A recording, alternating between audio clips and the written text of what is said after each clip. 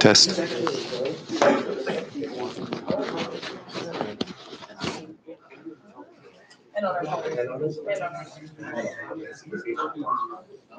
All right, everybody, shall we get going? We'll we'll wait for. We're, we're not going to wait for the people who went to the college, and then they'll realize in 15 minutes it was here. Like it always goes the other way. They put a sign up. Yeah, did you? Thank you. Oh. But if people can read signs, they would have read what I wrote. But it- I mean, try to keep it. the security guy you guys there. So sweet. Okay. Well, um, just to start off, oh, I'm blind. I got that. So, uh, Southeast Tech Hub acknowledges that we are located on the traditional lands referred to as Treaty 4 territory, the original lands of the Cree, uh, Ojibwe. So, sorry, I'm from BC. I suffer on these names. I can say Inkla Kathma and I can say Tooth, but I, my apologies. I don't mean to be disrespectful. Um, Dakota, Nako- Nakota, Lakota, and the homeland of the Métis Nation. We respect and honor the treaties that were made on all territories, and we acknowledge the harms and mistakes of the past. And we are committed to moving forward in partnership with Indigenous nations in the spirits of reconciliation and collaboration. Now, some other little housekeeping things if you've never been here before. Uh, the washrooms are just right there. Food and drinks, help yourself. If someone decides to do something nasty and we have to get out of here really quickly, the exits are there and through that door and to the right. Um, so, you know, there's some people here that are new. So, if you don't know me, I'm the executive director of the Southeast Tech Hub in Estevan. So, the Tech Hub is like is a incubator. It's a place where startups in technology can get some help, mentorship, free space. I can help with funding, um, all those other wonderful things. But there's one big thing, since I'll have everyone here, is we are doing the $22,000 pitch competition. We did receive $20,000 from SaskPower and $2,500 from SaskTel. So as much as you guys can help me get the word out, we're looking for people to pitch. And again, like I don't know if you've read anything or heard what I've said before about the pitch. I don't care if you know nothing about software engineering. We're here to help you with all of that. You just have to have a crazy idea and ready to go for it. So if you really you want to help me out, there's some posters over there. Just grab some, put them around town, put them where you work. That'll be great. Now, uh, just for boundaries, this well, everyone, this is this can be so nuclear energy. We are we're good chance we're going to have nuclear energy put into our community. I know that for some this is a an emotional thing.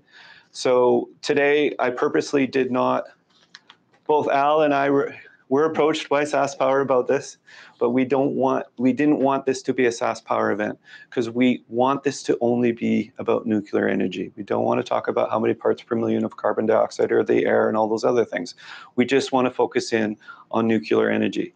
Um, the other thing is my job as the tech hub is when someone comes into our community wanting to innovate, want to do technology, my job is to be the conduit of information.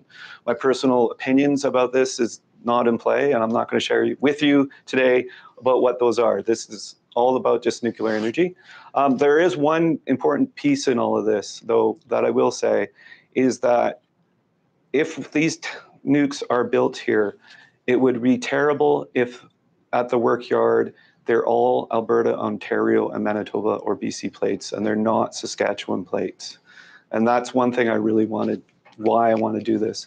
The other part is GE Hitachi and the SAS government really want our community to be a part of the supply chain. So uh, with the college, um, we are collecting as much information to get that into the community so that you can be a part of the supply chain, whether you need to be certified to work it or run it, or if you have a, uh, a boiler, boiler maker skills or welding skills, there's opportunities for you. So with all of that put aside, I'd like to introduce you to Al. Al is our, can I say expert? Sure. Al, Al, Al knows a lot about nuclear energy. I don't think other than Oppenheimer, there is anyone who's truly an expert, eh? Yeah, probably. Yeah. So I'll take it over to you. Sure. Thank you. Well, good evening, everyone, and thanks for joining uh, us tonight. Um, I can do something. Uh, well, two things. I'll let you know. I'm carrying around some notes because there are some things in here I had to refresh myself on. I want to make sure I share good information with you. Okay, that's my purpose here is to share good information with you, um, and talk about call here nuclear power and SMRs. SMRs, of course, means small modular reactors. I call this a primer. A primer is just meant to be an, an in information session, and it comes from uh, oh, and I'm proposing to do this for people who I think may want to end up supporting nuclear power. So I will say up front, I'm a supporter of nuclear power. I've been involved in the mining industry for more than 30 years in a variety of capacity, and and more than half of that, I've been involved. I've been working with mining companies who have given me experience in nuclear, primarily Cameco Corporation, world's I think presently now second largest uranium producer. But I was with Cameco when they got into nuclear power directly by investing in Bruce Power in Ontario. But Cameco plays a really big role in the whole nuclear fuel cycle, and, and I've been lucky in my career, both through Cameco and where Cameco sent me to work to gain experience with nuclear. I've also been involved uh, on the uranium front, working with communities uh, to help address concerns that they may exist with respect to environmental matters or health and safety matters, regulatory concerns, all those things. So I'm not a nuclear engineer. So this is not going to be a technical talk about the, you know, physical nature of a, of a nuclear power plant, any of those things. I'm going to talk about all the other things, like safety and environment and radiation and all the things that people maybe wonder about when it comes to things in the nuclear industry. And uh, I want to thank you for coming tonight. I'm going to point him out just because, not just because he's my brother, but my brother came with me. Um, he's in the aviation industry. He and I, in our careers, often talked that aviation and nuclear share some things in common. We share a safety culture. We share a real strong desire in the industry to have no accidents. And we try and design that into the technology we use and the practices we use and all those things because we we're all both sectors are really dedicated to safety. So uh, I say that up front. Um, the other thing I want to say is I'm very happy to be here because we have family roots here. Both my grandfathers were coal miners way, way back when they first came over from, quote, the old countries. Um, one of my grandfathers on our side, my grandfather Shpyth, left coal mining and opened Tony's store, one of two general stores in Bienfait, Saskatchewan, a long, long time ago, which he ran until old age prevented him from doing more of that. Um, our other grandfather, uh, our grandpa Hitchin, he was a coal miner his whole life down here in the area. The last machine he worked on was on the drag dragline that walked. I mean, anyone here has ever seen the drag dragline that walked? So that was the last bit of coal mine equipment our one grandfather worked on. Uh, so we are Shpyth, last name, modified Polish. Um, Hitchin, we've got Prisniks, Antnuks, several family names, primarily in Bienfait area, and I hate to say now primarily in the Bienfait Cemetery. Um, but yeah, we have family roots here that go back you know, a long time. So that's the other reason I'm very happy to come down here uh, and talk about it. And and I'm the only one in the family not born here, but I have memories of coming here for summers with grandparents and swimming in the coal pits. You know, tobogganing down the hills in Roche Percee when I was old enough, going across the line to Portal. Um, so if you grew up in Estevan area, you probably shared some of those experiences as you were growing up. And I'm and very happy to share, have this opportunity to share with you my thoughts, my experience uh, on nuclear uh, and small modular reactors. Um, I do hope you enjoy the event. I do hope I, I speak to the, the information you are seeking. And if I don't, I'm quite happy to take questions um, and, uh, and work well, to try and give you the best information I can. Um, and as noted, this can be an emotional issue for people. Nuclear power has had its experience of controversy over the years. It has accidents. It has had um, some accidents. Uh, I will talk about safety of the sector overall. Um, and we're considering the option of nuclear in this province in a time of change. Right? There's great change and debate going on with regards to energy. So I know that's the larger context, and I know that context has an impact here in this region because of its potential impact on its impact that it's having on the coal industry and the future of coal. Um, so I know that's going on. Uh, and I, you know, respect the challenge of it. One of the first mining company I worked with was a German company. I happened to work with them at the time when the Germans announced they were going to shut down all their nuclear power plants and rely on natural gas from Russia. It, I can tell you, it shocked German industry when that decision was made. Absolutely shocked the industry. And now you may know Germany is questioning whether or not that was in fact the right thing to do all those many years ago. And the last year, after the Russians invaded Ukraine, are actually we're actively looking to see could they salvage what was rest left of the nuclear power industry there because you know one of the great things about energy that we've grown up with is it's it's provided um, the energy we need for our economies. It's provided the energy we need to heat our homes. It's provided us with energy security and all these things that that I think that's still important to know. That's you know things that we value out of out of energy. Now, energy can also come with environmental impacts. It can also come with safety impacts. So that's why I'll try and build some of that in, in here for you. So uh, I think uh, small modular reactors as a technology that can play a role in Saskatchewan's future. Uh, I'm very interested in SaskPower's efforts, and I'm very interested in, yeah, I think what you're wanting to learn about them, as this community is one of two potential locations for small modular reactors in this province. So, does that sound reasonable? There's other things you want me to speak to? Let me know. Um, so the topics, and everyone see okay? Okay, so I will talk a bit about small modular reactors, what they are. I'm sure you've heard about this from SaskPower. I'll just give you uh, sort of a general perspective. Talk about the approval process where I've spent a lot of my professional career in is getting things approved. Um, uh, I'll talk about some of the issues and concerns I know have been raised about nuclear power for as long as I've been in the industry and involved, which is 30 years. And at the end, I'd like to talk about some of the actions that if you're interested in supporting nuclear, the nuclear option, I think some of the things you may want to consider um, taking on. And again, I'm very open to questions and very happy to discuss uh, any of the topics, any of the questions you think you may have. So up first, you know, about SMRs. So SMRs, uh, so anyone here actually with, like, not with SaskPower, but involved in power generation here, history of power generation. So, so SMRs in our ways are like the coal plants that have been down here for a long time. They're also like natural gas plants in that they're thermoelectric sources of electricity. Heat is generated, create steam, steam turns turbines, and away we go, we get electricity. Um, SMRs, they can be baseload like coal.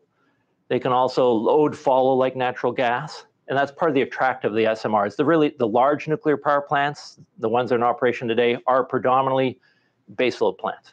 That's where they run best. SMRs again are different because of their size and other features. They can act both like a coal plant, both like a natural gas plant. What differs, of course, is unlike the fossil plants, the fuel that goes in to generate the steam is not burned. It's not combusted, so there aren't combustion gases that come out the other end. The fuel goes in as a, as a solid, and when this fuel is used up, when it's used fuel, it comes out as a solid. And that's also one of the, I think, key features of nuclear um, from many people's perspective. So quickly, of course, small means they're less than 300 megawatt uh, electric units. Shand, if I remember correctly, is 276 megawatt. So it's quite comparable to Shand. Ideally, small modular reactors are going to be modular. They're going to be built in manufacturing centers, in manufacturing plants, multiples at the time, and you're going to get uh, the benefits of manufacturing.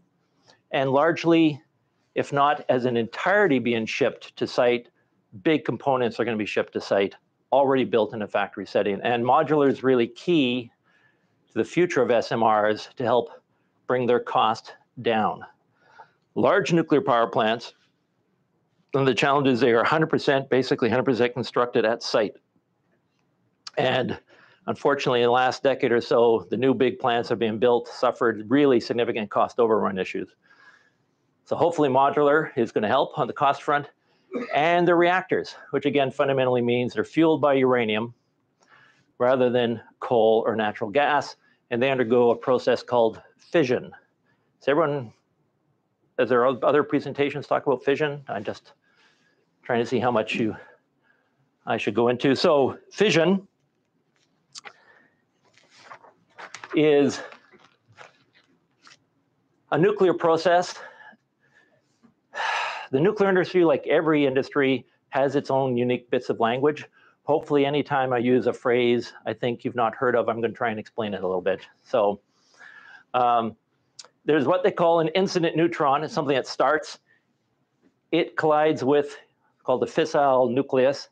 That's uranium. Uranium's a very large, heavy uh, atom. The in that collision, it splits the nucleus in two. When it gets split into two, it releases a great deal of energy. And I'll talk very soon about how much energy it releases. It also releases two or three more neutrons. Those neutrons then collide with other atoms, and you get a chain reaction. You get what's going on that's called, called fission. For those who are a little bit more into the science, um, I've met John, so I know there's a physicist in the room, so he has me beat on that. This is how it looks like in the type of reactor that's proposed for use in Saskatchewan. You got this incident neutron hitting uranium-235. Uranium-235 is what's called fissile. It can undergo this reaction. It becomes unstable. It splits into two, and out come three neutrons the other end, and the chain reaction continues. So that's how fission works. Really key is it's uranium-235, and I'll talk about that in a moment. And it's amazing, you know, how much energy. One gram of uranium-235. I can't even describe you how small one gram uranium-235 is. It's, it's very small. Produces one megawatt day of energy. So for the, the power coal person, that's a great deal of energy from a, it's like a grain. It's an incredible amount of energy is contained within uranium. Which takes me to how much? Here are some examples. These are, are ones that have been pretty standard over the years. So you've got one uranium fuel pellet, which is about the size of your fingertip. Produces as much energy as 17,000 cubic feet of natural gas, 149 gallons of oil, or one ton of coal. And that's not lignite coal, that's the high grade coal that you get out of the Wyoming mines, for example. So there's a great deal of energy in uranium. And to turn into maybe a bit more for us, one kilogram has two to three million times the energy, energy equivalent of oil or coal. Two or three million times as much energy. Yes. I was just curious, um, so you mentioned fuel pellets. Yeah. Um, does the SMRs that are kind of in question here utilize a small pellet rather than a rod, so it limits the actual, uh, fissile, uh, runaway? I have a graphic in just a moment. Pellets get assembled into rods, rods get assembled into bundles, bundles go into the reactor. Yeah, that's a very fair question. Um, so this, it's called energy densis, dense, density. You may hear about it, energy equivalency. It's just really amazing how much energy there, there is in, in nuclear. When I worked for Cameco back in, I'll just pick the year 2010. This was one of the last years, McArthur River, a mine in northern Saskatchewan, one of the, once the world's largest, richest uranium mine. One mine, total area McArthur River, one square kilometer. The uranium from that one mine could fuel 2% of world electricity. Mines from Saskatchewan fueled 20% of all US production for many years.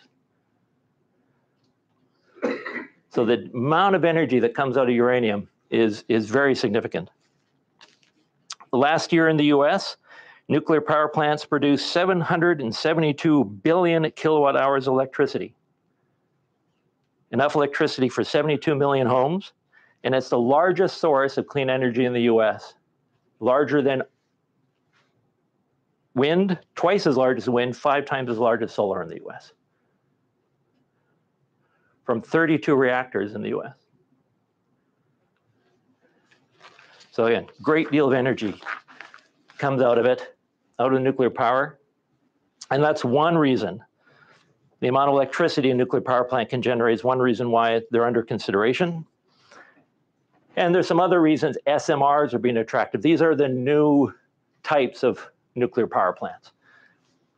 They are, again, small, modular, so they have lower initial capital investment, very large nuclear power plants, which are 1,000 megawatt and larger, some 1,600 megawatt, have very high capital investments up front. Um, but these have lower capital investments because of the energy density. They have really high capacity factors. The one that's proposed here in Saskatchewan is proposed to have a 95% capacity factor. That means it's generating electricity 95% of its time, which is quite high. They're greater scalability due to them being modular. So they're not only being looked at by utilities like SaskPower for electricity, they're being looked at by industry. Because you could have one, two, four, six of them. They can do different things with them to meet your needs. They could produce electricity, they could produce heat, they could produce combined heat power. They're really flexible, these SMRs that are coming out. They also have siting flexibility given their size. They can go places that you can't put large, traditional large reactors. They have enhanced security, uh, safety and security compared to earlier designs. They, uh, many of them are called generation four reactors. Generation one being the very first reactors built, you know, back in the 50s and 60s. Then generation two sort of came online in the 70s and 80s, and generation three came online in the 90s. And now we're on to generation four. Uh, a lot of the SMRs are generation four reactors, and they've got, again, these enhanced um, safety and security built into them. And the other thing about them, so related to their siting flexibility, given their size, they can readily fit into infrastructure of fossil fuel plants that are being closed. Again, the SMR, BWRX is about 300 megawatts, about the size of Shand. It, they can fit in well into grids and infrastructure that already exists for coal or natural gas plants. So that's one reason. The other reasons the XXRs are the SMRs are being attractive. Now, Oh, I just want to say a very little bit about the GE Hitachi BWRX300, which is the SMR that's being considered for Saskatchewan. Or has everyone heard enough about this? Or I only have one slide on it, so I'll try and be. It's fundamental. It's a boiling water reactor. So again, it's also very similar to the coal plants here. They heat, they boil water, create steam, generate electricity. So they're boiling water reactors. It's one of two really dominant reactor types currently exist in the world. The other is a pressurized water reactor. This is a boiling water reactor. So again, uses uranium to boil water to make steam, turns turbines, make electricity. So outside of the nuclear plant, everything else is like, like already at Shand and Boundary and the like. It's from the generator on, it's things we're quite familiar with. It uses what's called low enriched uranium fuel pellets, which again, get assembled into rods, get assembled into bundles. I'll talk about enrichment in just a moment here. Each fuel pellet, basically each then fuel rod assembly, can provide up to five years of fuel for heat for power generation. And when they're used, they get pulled out and they get replaced, and the reactor keeps going. And again, uranium goes in as a solid, it comes out as a solid, it's not burned. Sometimes you will hear people in the industry talk about uranium being burned. It's not burned in the traditional sense that we're used to with, with coal. But because it's not combusted, there are no combustion byproducts like SOx and NOx, particle ash, any of those things, or greenhouse gas emissions. So you're probably aware uh, this particular reactor type has been picked first by Ontario Power Generation. They were going to build one reactor as a demonstration. They've recently announced they're actually going to build four. And according to the SMR plan for Canada, SaskPower is also considering four.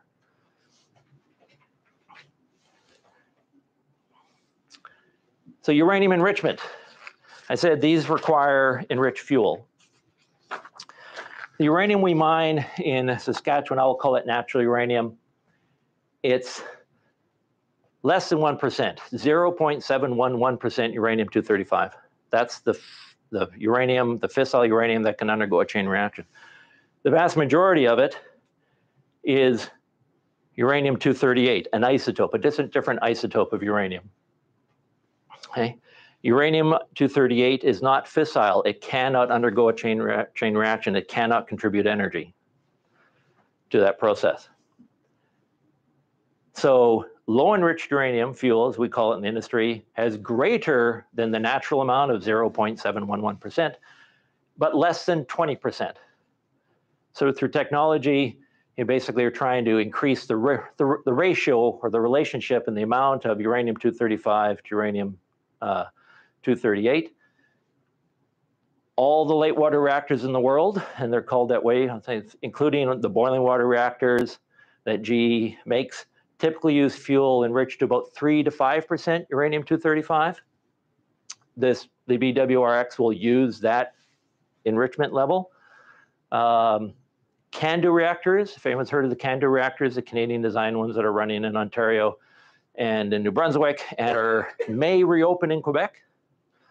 Um, they use natural uranium. They can actually take, quote, the uranium we mine in Saskatchewan, they get a process turned into fuel, and it can go into the reactor as is to generate electricity. It's one of the few reactors that can use natural uranium. And at the other end, not for fuel purposes, are, quote, what's called highly enriched uranium, which is greater than 20% enrichment levels. It's used in the nuclear power plants that power ships. There's more than 400 nuclear powered ships sailing the seas. Um, they use it for propulsion. It's in some research reactors. And honestly, you, it's in nuclear weapons. Nuclear weapons are enriched to greater than 90%, like significant, significant enrichment effort required for, uh, for the weapon cycle. But the commercial system, it's three to 5%. And that's what the reactor that we're going to have here will run. Yeah. Please go ahead. Yeah. Uh, where, where, for example, would it be enriched? Sure. Great question. Takes me to my slide. Yeah, the nuclear fuel cycle. So these are all the steps involved in in the nuclear fuel cycle from the mining of it all the way up to its final disposal. And we're one of the biggest uranium miners in the world. We're not the largest, Kazakhstan is. Um, we mine it, comes out, we call it ore in the mining world. Um, it gets milled, the ore gets turned into a concentrate as it's a powder, and it has a chemical form, U3. I'm only mentioning the chemical form because it sort of changes all the time. Then it goes on to a refining step. All the trace elements, impurities are taken out of it. So you really get a, a really pure uranium concentrate called, which is UO3. Goes into a conversion step for light water reactors. Um, goes into enrichment. Uh, conversion turns it into something called UF6. UF6 gets enriched for fuel, gets turned back in, gets turned into UO2. UO2 gets sintered, gets baked. It's like a ceramic process. Um, and under high pressure gets turned into pellets. Pellets get assembled into bundles. Bundles get assembled into assemblies. They go into the power plants, generate electricity. When the fuel has been used, it comes out, gets stored for initially in water for several years, and it gets put into steel and uh, concrete canisters, and ultimately it'll be disposed of in deep geological disposal. So all these steps, but enrichment happen in Canada today. This happens in the US, happens in Europe, uh, also happens in Russia. Um, I won't talk about, again, the Russians, their invasion of Ukraine has had an impact on their ability uh, in the market. Um, but, and we're also not yet at the stage of disposal in Canada, but we have an organization called the, Nucle- the Nuclear Waste Management Organization. One of the great things I think about the industry is all the way through, there's a responsibility for the material. Cameco Mines and Mills has money set aside all the time to close down the mine, decommission it, and clean it up. Anyone who does these steps has money set aside to take care of site closure, cleaning up. Yeah, Can those conversion refining, is that done kind of at mine site or in Saskatchewan, or is it sent away for that? uh, it could have been done here.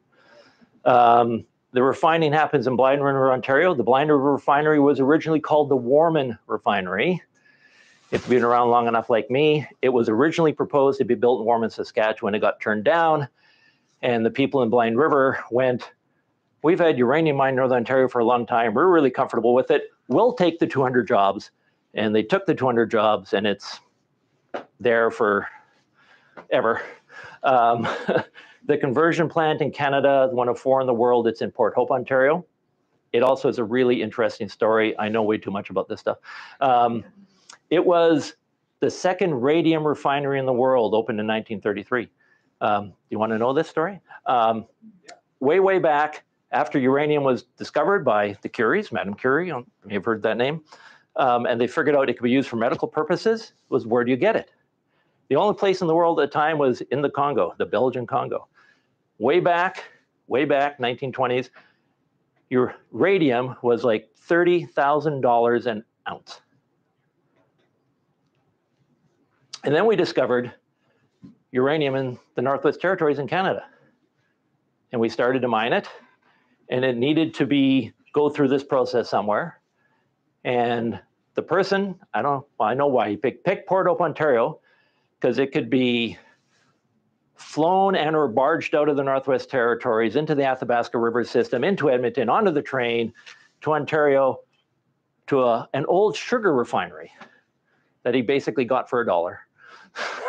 it was closed down in the 1930s, depression. So he got a refinery plant on a rail line system and on, on the Great Lakes for shipping. And he opened up the first radium refinery, second radium, radium refinery in the world, and the price of radium collapsed to like, I don't know, like some very low amount because a competitor opened up to the Congo. So, so yeah, it's real long history there. Um, but yeah, there's only a very small number of those in the world. Uh, same thing, there's not that many enrichment facilities in the world. And that's because, well, most of the nuclear fuel cycle is associated with power generation. It was born out of the nuclear weapon program in the United States. So enrichment is a controlled technology. We take great care, and there's lots of treaties and, and other standards around enrichment in the world because it, it can be used for great good, great, you know, generate electricity, but uh, it can also be used again uh, in the weapons process. Now, none of what we mine in Canada enters that cycle. Uh, All everything we do in Canada is tied completely just to electricity generation. We got. Yeah. So with the involvement of nuclear. Yeah. Is there going to be an opportunity or need for additional facilities for enrichment? there is there is going to be a need for some i'm going to generally say yes. Um, i'm going to say generally because a lot of the new reactor types also want to use new fuel types. And those new fuel types are also proposing to enrich above the normal or regular 3 to 5 percent um, Cameco has been investigating, and I'm not speaking for Cameco, I just know from history, they've been investigating a new type of enrichment uh, technology um, that they're considering. Um, so I, I can't speak for them, but I know they have that potentially. Um, and of course, because it's Cameco, because it's a Canadian company, all that, it, again, it would be just, if it gets built, ever would plug into the commercial fuel cycle, it would not be part of the weapon cycle. So but depending on yeah how the market goes um, if all if all the countries who are today talking about nuclear power proceed and if all the potential smr plans proceed there will be an increase in demand i think probably throughout the whole the whole process here. Does the treaty have to get modified at that enrichment process before you can build, they can build more? Is that how that's? There'll have to be a, a going by memory test. Um, and because Cameco is not a government owned entity, again, it's outside of that cycle.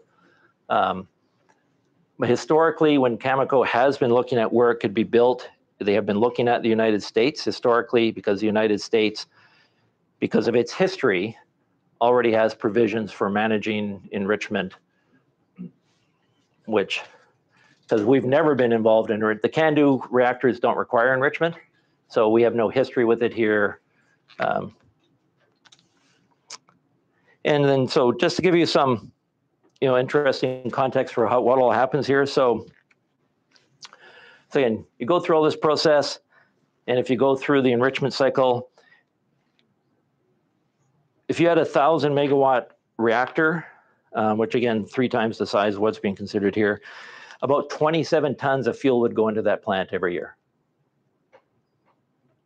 So it's a big plant, small amount of fuel going in. Within the 27 tons, just, you know, there's about 18 million fuel pellets. Because fuel pellets are really small, right? So they get assembled, yes.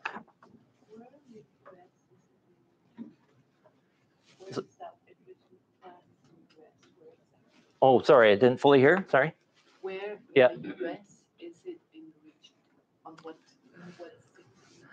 Ah, I'm afraid, um, going by memory, I don't remember where the US enrichment plant is.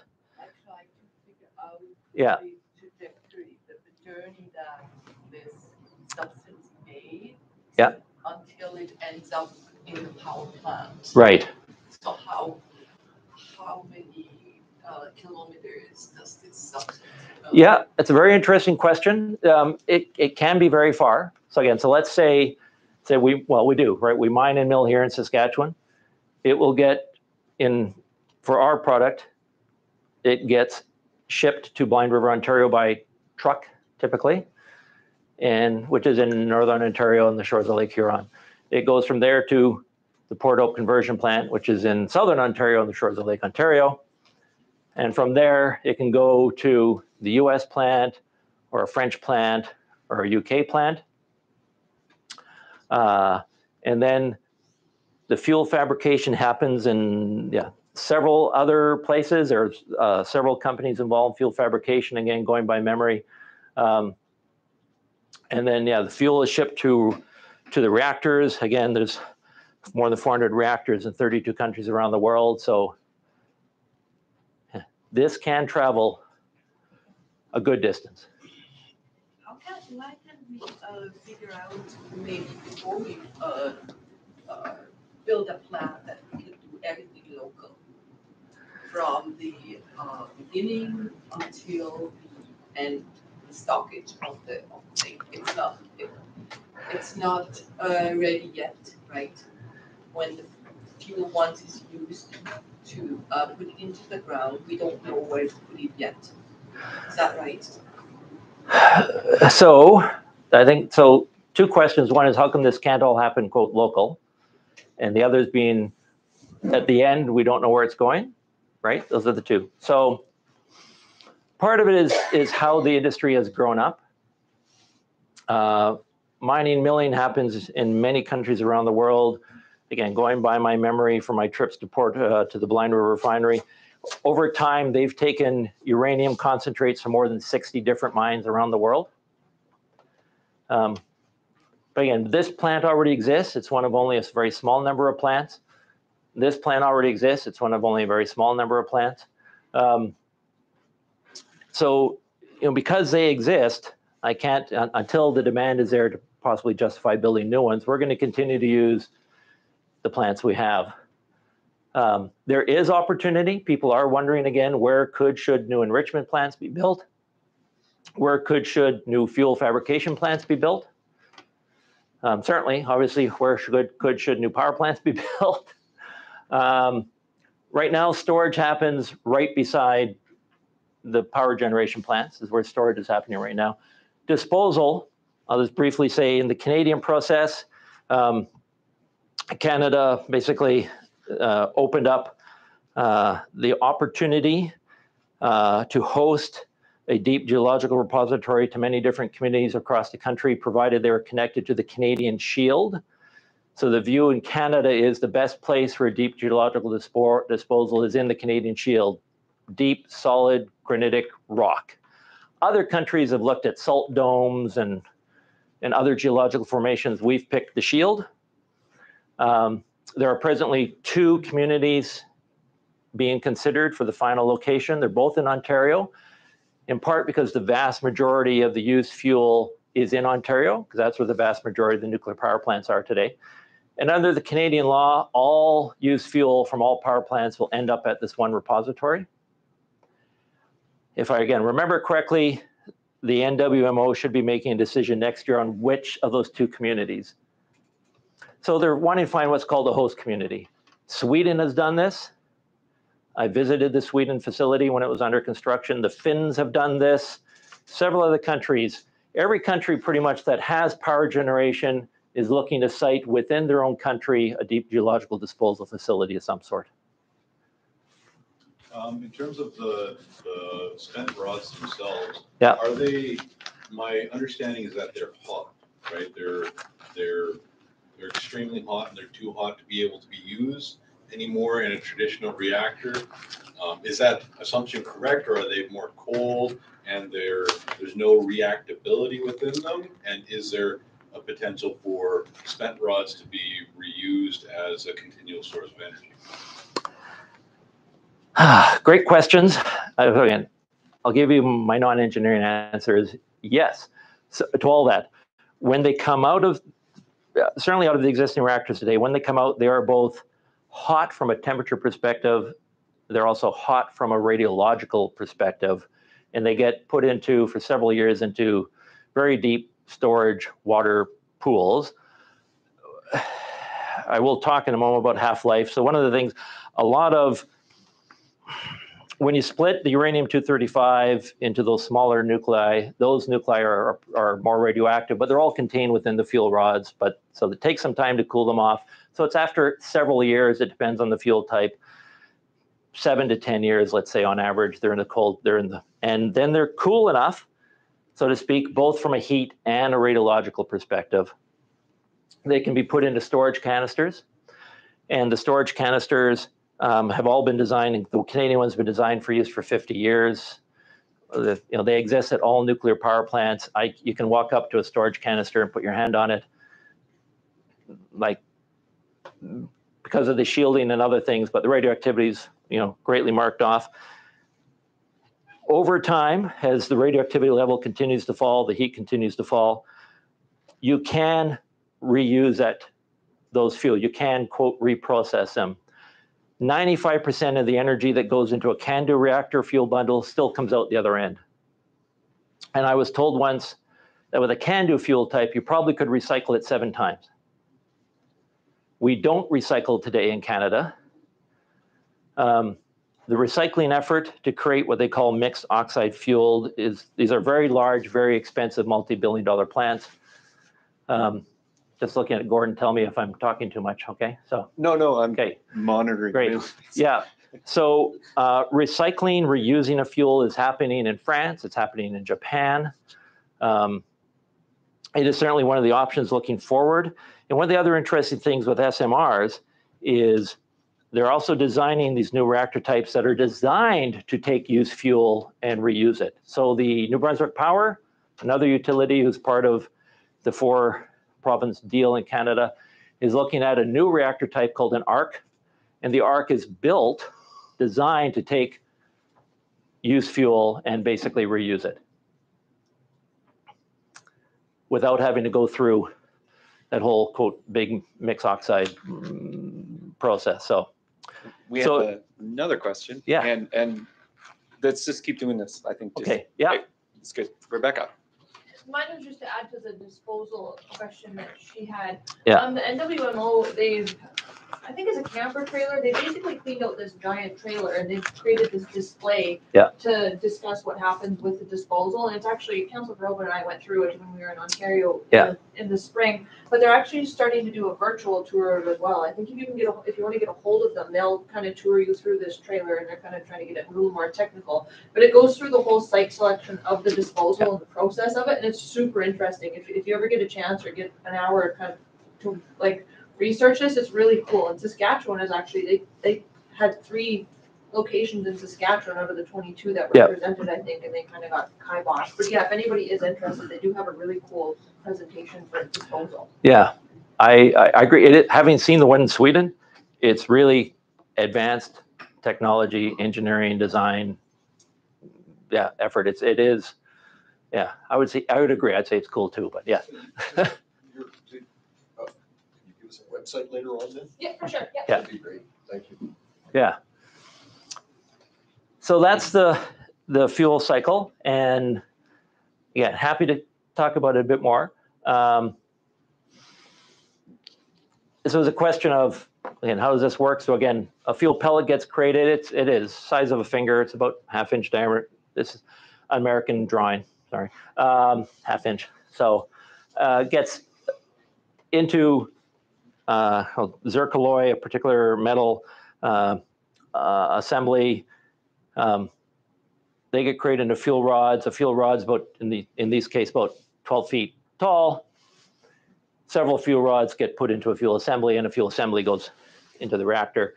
When it's done again, it comes out, gets stored, and then eventually the whole fuel assembly right now is getting put into these big storage containers, canisters. Yeah. So our, so the, if I'm understanding the way that, that drawing is showing is that Yeah. the pellets are just slid into a sleeve? Is that, is that a correct interpretation? It's a it's a tube. Yeah.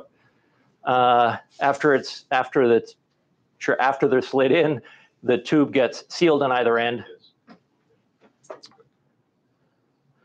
I've seen the uh, fuel assembly or the yeah the fuel manufacturing complex. There's actually two of them in Canada for the CANDU fuel system, and I saw one in of all places Russia many years ago, um, run by a German company.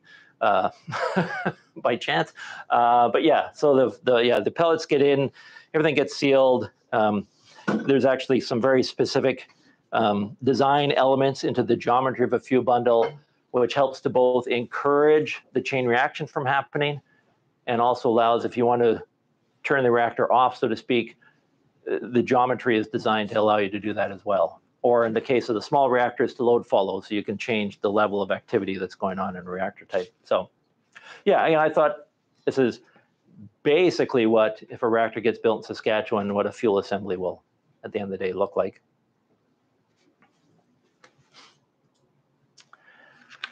So as I said, if one gets built, so again, this sort of takes me hopefully into uh, an approval process. Um, the approval process we're going to follow in Saskatchewan differs from the ones that's happening in Ontario to some degree and the one that's happening in New Brunswick to some degree. Because in those provinces, they're looking at these new SMRs on already licensed, approved nuclear sites. We don't have that here. So our process is going to be slightly more involved. Um, at the federal level, we have something called the Canadian Nuclear Safety Commission. It's existed for a very long time. Its mission is protect the health and safety of the public and the environment. They're responsible, responsible, responsible for licensing the design.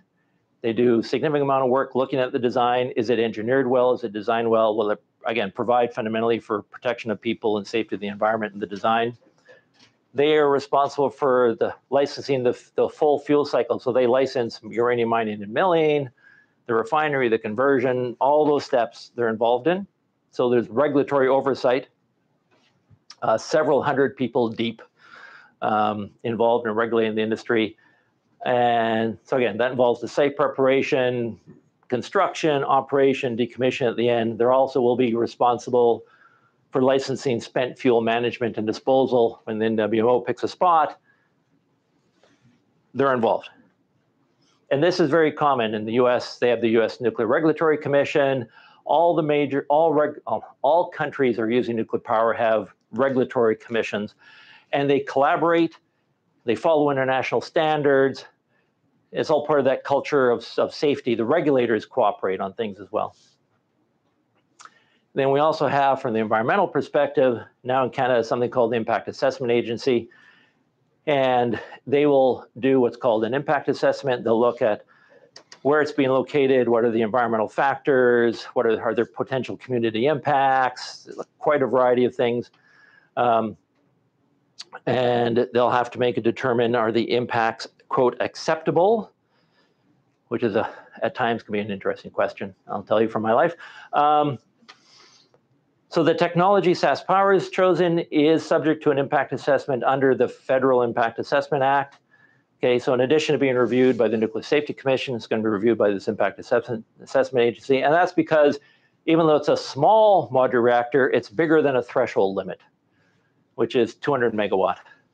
And it's also not located within the boundaries of an already approved site. So remember, they have to approve the site.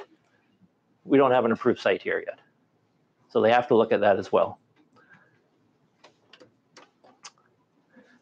Question. Yeah. Does that Impact Assessment Act hinge on both of those conditions? The thermal capacity condition and the class one A facility condition? Or if you're not meeting either one of those, you skip the impact assessment? Um, so if you're smaller than 200 megawatts, Yep. you won't trigger the federal impact a- assessment. But it's a nuclear facility of any kind in Canada is what's called a class 1A facility. So that's that's not a threshold issue. That's uh it's reactors. Right. So if you were building a new plant. Yeah. At a brand new site. Yeah. That was less than two hundred megawatts, you would not trigger the impact assessment is that right? It's there's an and here. the ones that are under consideration today are are all greater than 200 megawatt and at a site. It's um, environmental law is fundamentally about administrative law. So someone will really read: is it an and or a may or the should or a must or um, but they're yeah they're all going to get looked at. One of the one of the i'm going to say hope i think that's the right word for small modular reactors is again we want to have modulars. We want to have many of them built. And what we're also hoping is ultimately the design the application process the approval process will look at okay so this is not the first of its kind it's the 50th of its kind right? And in already reviewing it 50 times, we have a really good idea of that its design is solid. And we already have an idea of how it interacts with the environment. So as long as the site meets these conditions, that's what the industry hopes we get to from a regulatory perspective. But the regulators are independent. They do what's called a safety case. They always look at what's the safety consideration in place. And they won't relax the requirements if they think there's a safety issue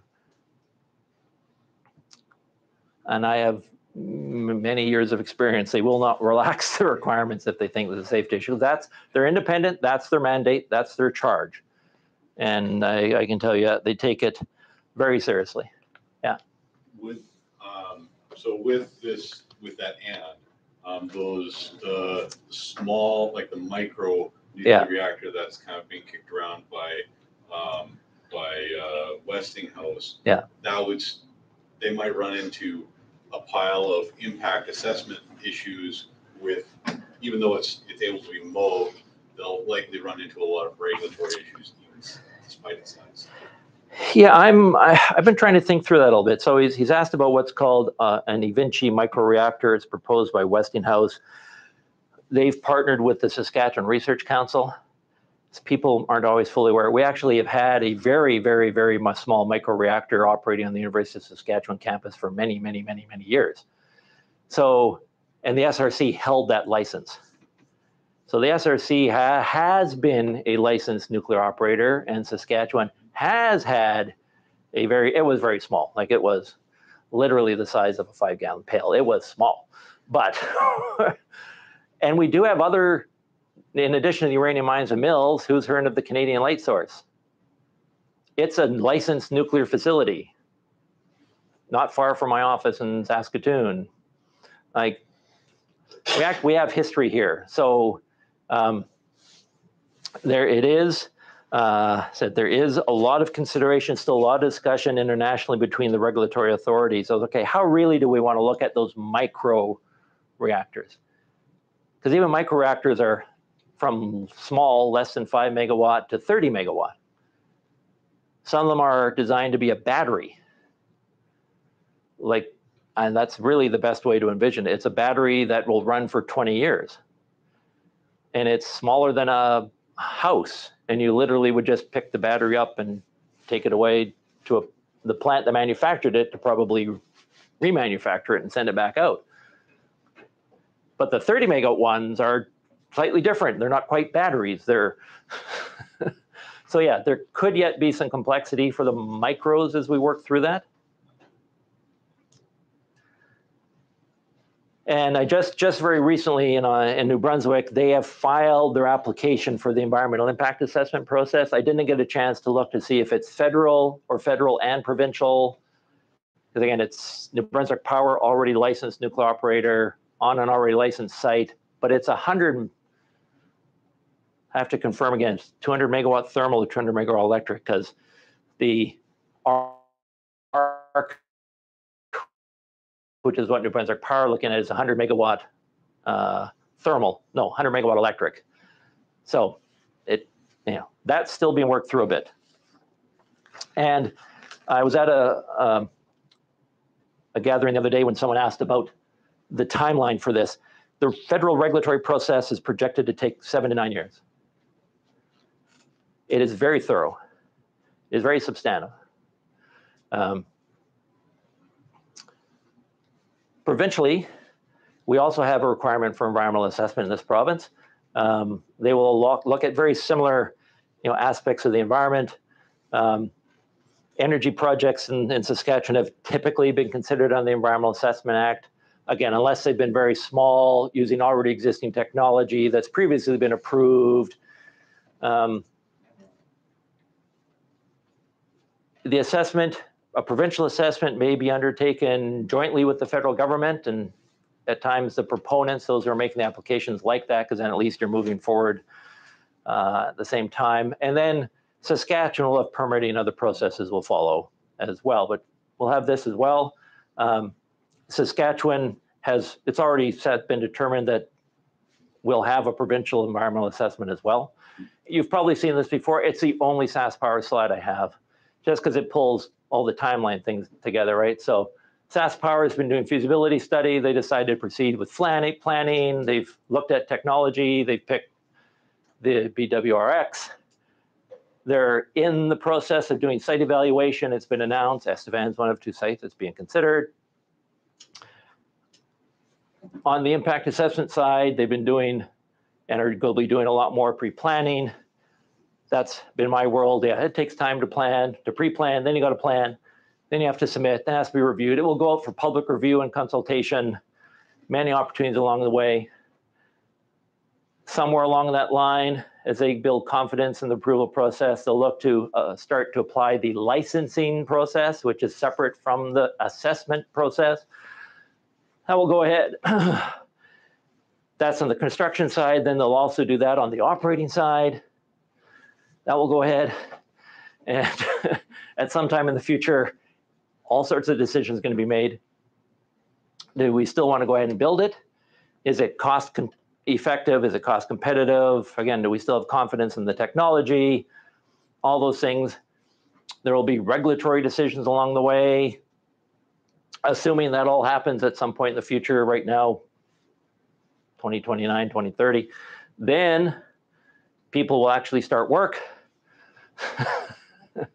and it's projected right now 42 months construction. But again, we're all hoping that they'll learn from the Ontario Power experience with the first BWRX that's going to be built on the Darlington site. And now that Ontario Power said we're going to build three more on that site, they'll also gain that experience, which is, uh, I think, just again, I'm not an engineer, but from all the engineers I've ever worked with, learning from the experience of others is a valuable thing. So we can do that. Yeah. So for the training to work at this site, is Yeah. that something someone will have to go to university for? Like, I was thinking I was supposed to four-year training, or is that something that our college here could implement a program for? There will be uh, a mix um, of, I would say, four-year engineers, two-year technical technician type levels. Um, and in this province, we already have experience. We already train environmental techs. We already train radiation techs.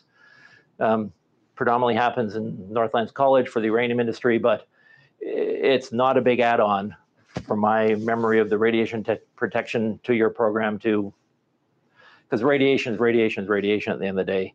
It's just different, you know, the different steps for the at a power plant versus mine. You know, so so there will be a mix of each.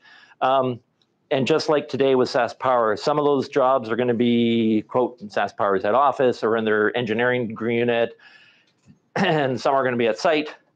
Um, but all the other, again, balance of plant things, the electricians, that's all, and electricians electricians and electrician. It's, there's no nuclear electrician. They're gonna be electricians at the end of the day. Like I said, uranium mining and milling, we have heavy equipment operators. We're not the only one with heavy equipment operators. You know, we give them some special training on safety at our site, but that's, all industry gives special training on safety at their site. Like, Uh, curious, so you Tom. talk about the Ontario plant. Yeah. Um, When, or again, where is that in the process, kind of when's that being built? They've, they're actually already at site preparation. Um, But they're still, like the license design is still going through. Um, They, because they already operate both the Darlington and the um, Pickering nuclear power plants, they're already a licensed operator. They just have to show that they're going to be capable of operating this new type of reactor. Um, and it is new because they're running all the CANDU reactors, which are non, they don't use enriched fuel. So they're going to have to show they've got the competence to handle the enriched fuel. And, but yeah, so they're sort of in this, this multiple stage going on here, but they've already looked, I understand, at, at site prep. And I think at one, one, they've already started some site prep. The New Brunswick people are, again, just recently, I think just within the last month or so, have submitted, you know, their impact assessment. So they're, they're into this part of the process. They're also looking at a brand new reactor design. So that's going to go through some other things here too. So, and then along the way, of course, you know, SaskPower, like everyone in industry now, is always out talking to people. So, and they can be, you know, people in the community, indigenous communities, Tom first. and the like. Yeah. Uh, Excuse me, you mentioned the, the federal regulatory system. Yeah. Uh, it goes seven to nine years, right? Is this like parallel or when one is finished, does the next one start or like with SaskPower the commercial? Or? No, it, it will, it'll some degree, it'll, it'll move like this. So this is the greens, the impact assessment process. As they get confident in that, they're going to be preparing, submitting the construction license information. Um, and again, after that, gain some experience, and they'll also start looking at submitting the operating license because so they can move in parallel to some degree. But it's, they're always pretty much built on, you know, with confidence, we can take another step. Ellen? Is the, um, so for the actual GE SMR, has that, has GE started fabrication on the actual SMR or that's just still on paper right now? No, they have they have their licensing of the technology application in both to the Canadian and the U.S. Nuclear Regulatory Commission, and those two regulatory commissions have agreed to share knowledge and questions and information as to the technological review. Like in terms of the actual equipment, has act, equipment actually been built yet, is kind of my question. I I would say from from everything I've read, no, they've not built one of these 300 megawatt reactors. But what what they say is that they've been building boiling water reactors for 50, 60 years. They're on their 10th generation. They have designed and built a very large version of this reactor. And what they've done is they say they've made it from very large, like if I remember correctly, about 600 megawatts, but it's a very large reactor, down to 300. They've simplified it. They've taken out many elements um, that, that are that they think uh, will allow it uh, to work um, better. Because I think simple, they're, they're wanting that to be better. Um, and they're taking advantage of fuel that already exists, fuel design, fuel enrichment levels, fuel enrichment, like all those things. They've they're taking advantage of 50, 60 years of their engineering of boiling water reactors in this. So My- Point of my question Yeah. is more in terms of the supply chain of the manufacturing of it. It hasn't been manufactured. right, not fully, no. But again, the fuel side compared to I'll say to practically every other type of small modular reactor is very traditional fuel. All the other reactors are proposing largely new fuel types, which don't commercially exist yet. So if you may have heard of something called triso fuel, doesn't commercially exist yet. HALEU fuel doesn't commercially exist yet. This fuel commercially exists. Um, Yeah. uh, On that note, then, does the thousand megawatt that, uh, that, that Westinghouse is proposing, is that Yeah. Uh, existing fuel or new fuel?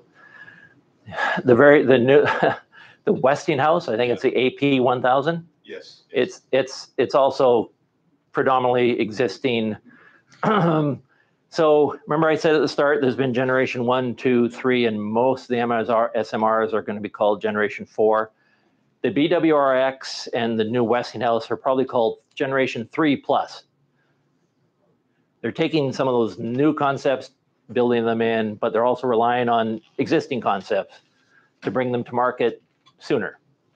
So is the difference between a, a three plus and a four the fuel type? I'd say it's a mix of both fuel type and design.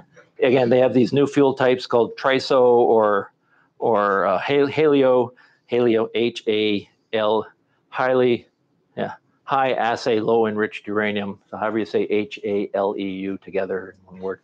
Um, but they also largely don't rely on water as what's called the moderator or water for the steam generation step. They don't rely on that. So they're proposing to use different things. They're proposing to use molten salts, proposing to use liquid metals, uh, helium gas, all of which they believe provide an even extra layer of safety in the design. So it is a mix of both new fuel and new design using less water than all, I'd say, the generation three and three pluses are. Ruth. Yes. I have a question. There, you said it's the fourth generation. A lot of the new ones are, yeah.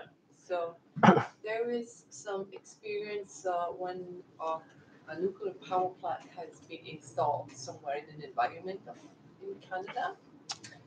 How did this uh, presence of this plant affect the quality of life of the people that live nearby there? Is that are there any studies made? So I just, I'm wondering because of estimate situation that um kind of has a problem with maybe uh future economic Yeah. uh uh possibilities. Um this power plant that the the nuclear that's supposed to come here if it's not very big, so it does not bring many workplaces here. So yeah, uh, I'm kind of wondering, would that be a motivation if that, that power plant will come? Will people be motivated to, to leave Estevan because of the power plant?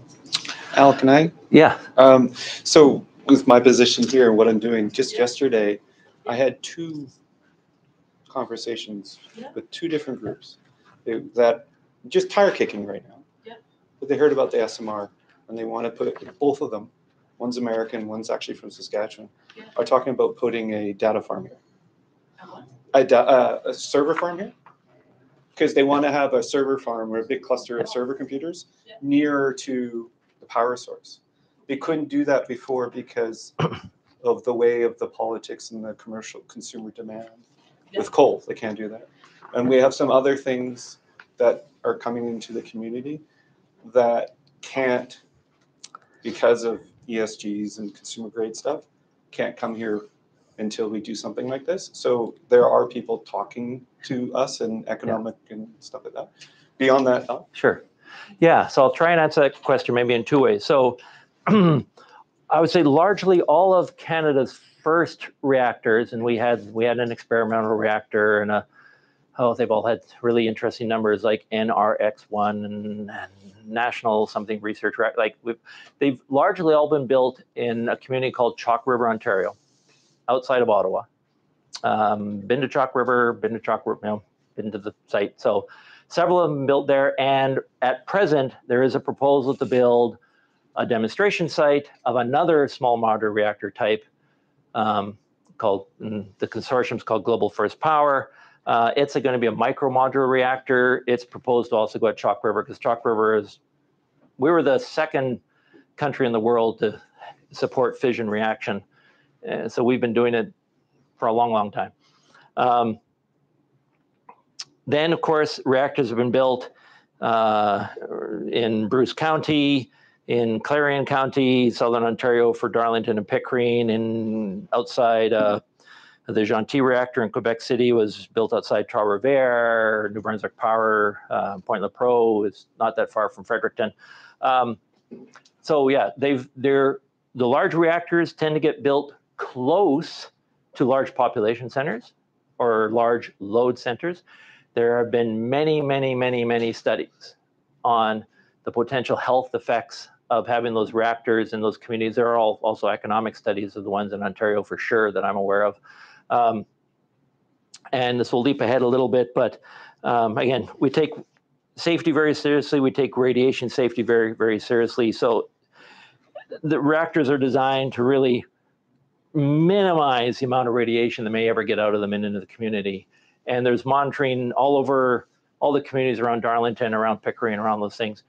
And they get less than 1% of the one, it's called the millisievert, millisievert public dose limit.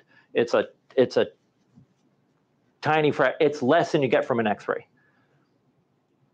So living nearby a reactor that exists today, very, very, very, very low potential exposure to radiation.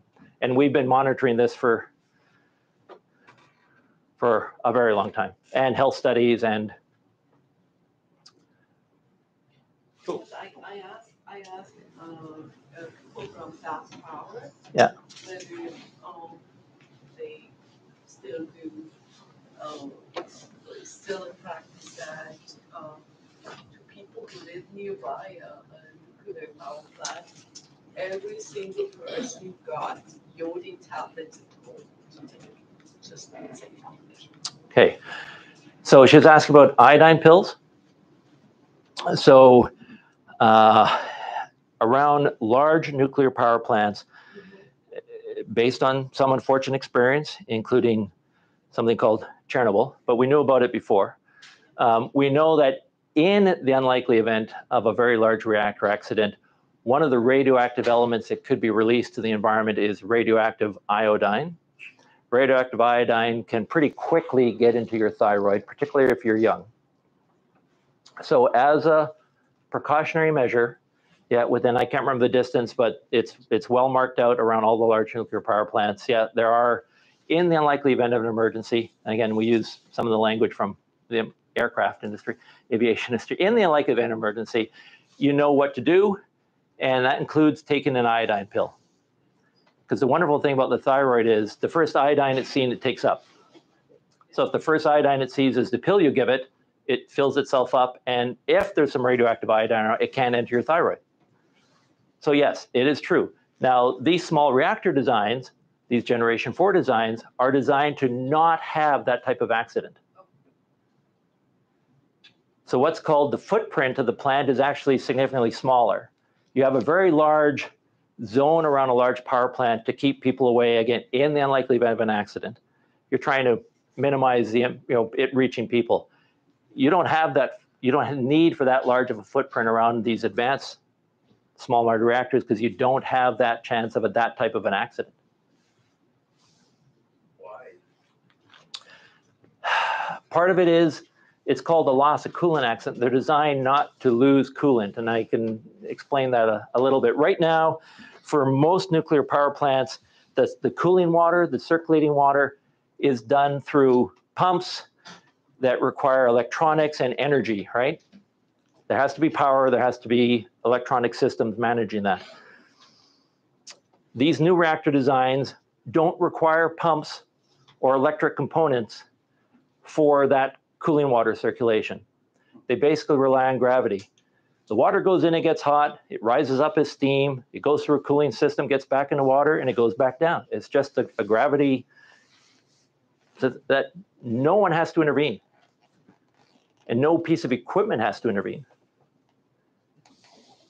The older reactor type, someone has to be, there has to be an operator controlling the response. Now, the response happens very incredibly fast, but they're designed, these new reactor types, to not require any operator intervention for that safety system to kick in because it's natural. We all know steam rises, as it cools, it comes back down as water, and it's just this natural circulation system. I'm going to be a little annoying because I've seen your, I've seen your presentation. Yeah. And I know we're jumping around. We are a bit, but yeah, So I'll I- take that I- into account. No, no, not you. Yeah. If, how about we'll go a little bit and then we'll stop and ask some questions. All right. Okay, thanks. So again, I won't talk about SaskPower more because we're into these, you know, issues and concerns, which could be, as we're talking about radiation, safety, security, right, waste management, all excellent questions. So if you're open to it, I'll try and give a very little short lesson on radiation. And maybe I'll rely on you, John, and your physics memory. But so people are often surprised that radiation is not only from nuclear power.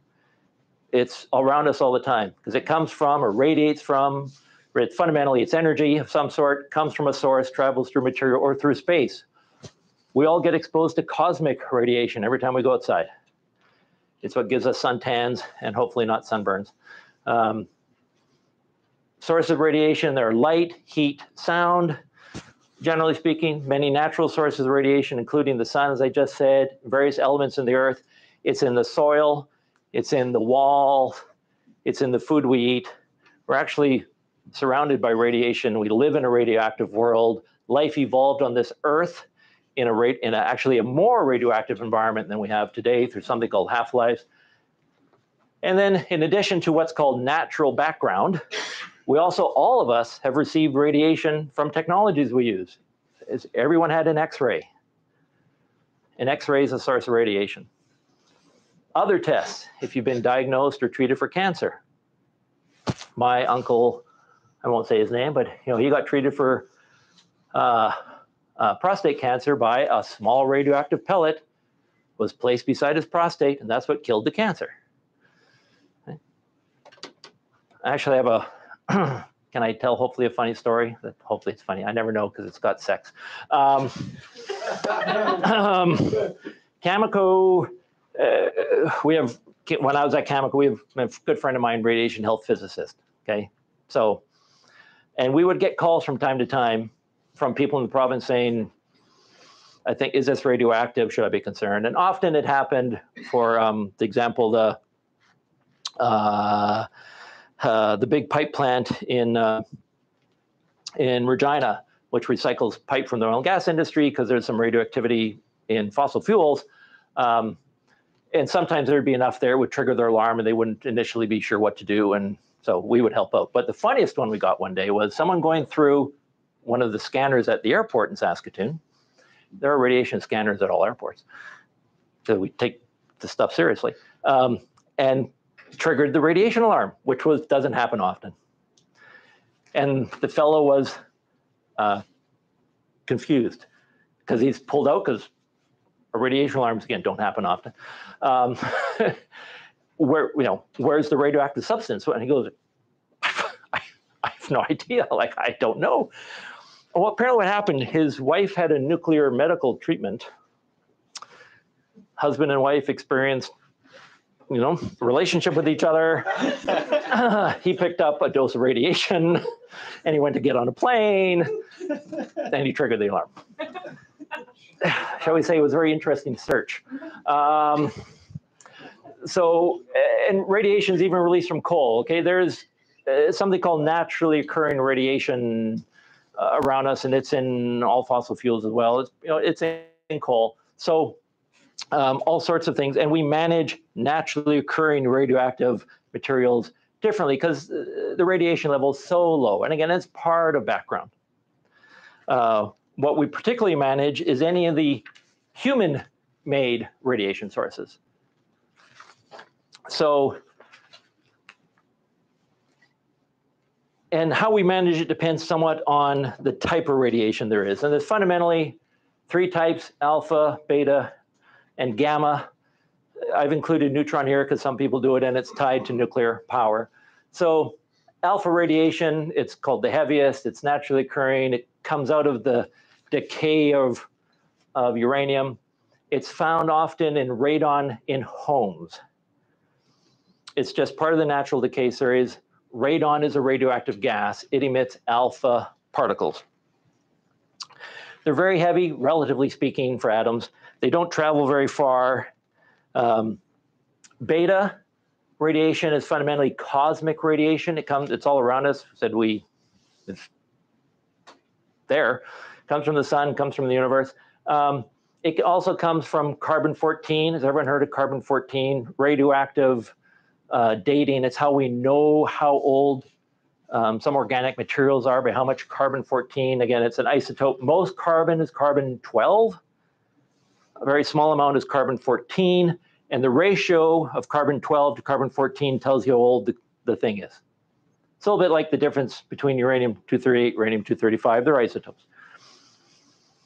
Then we also have gamma, which is like an X-ray. It's electromagnetic. That's really made by, well, the nuclear medical tests we get and those kind of things largely.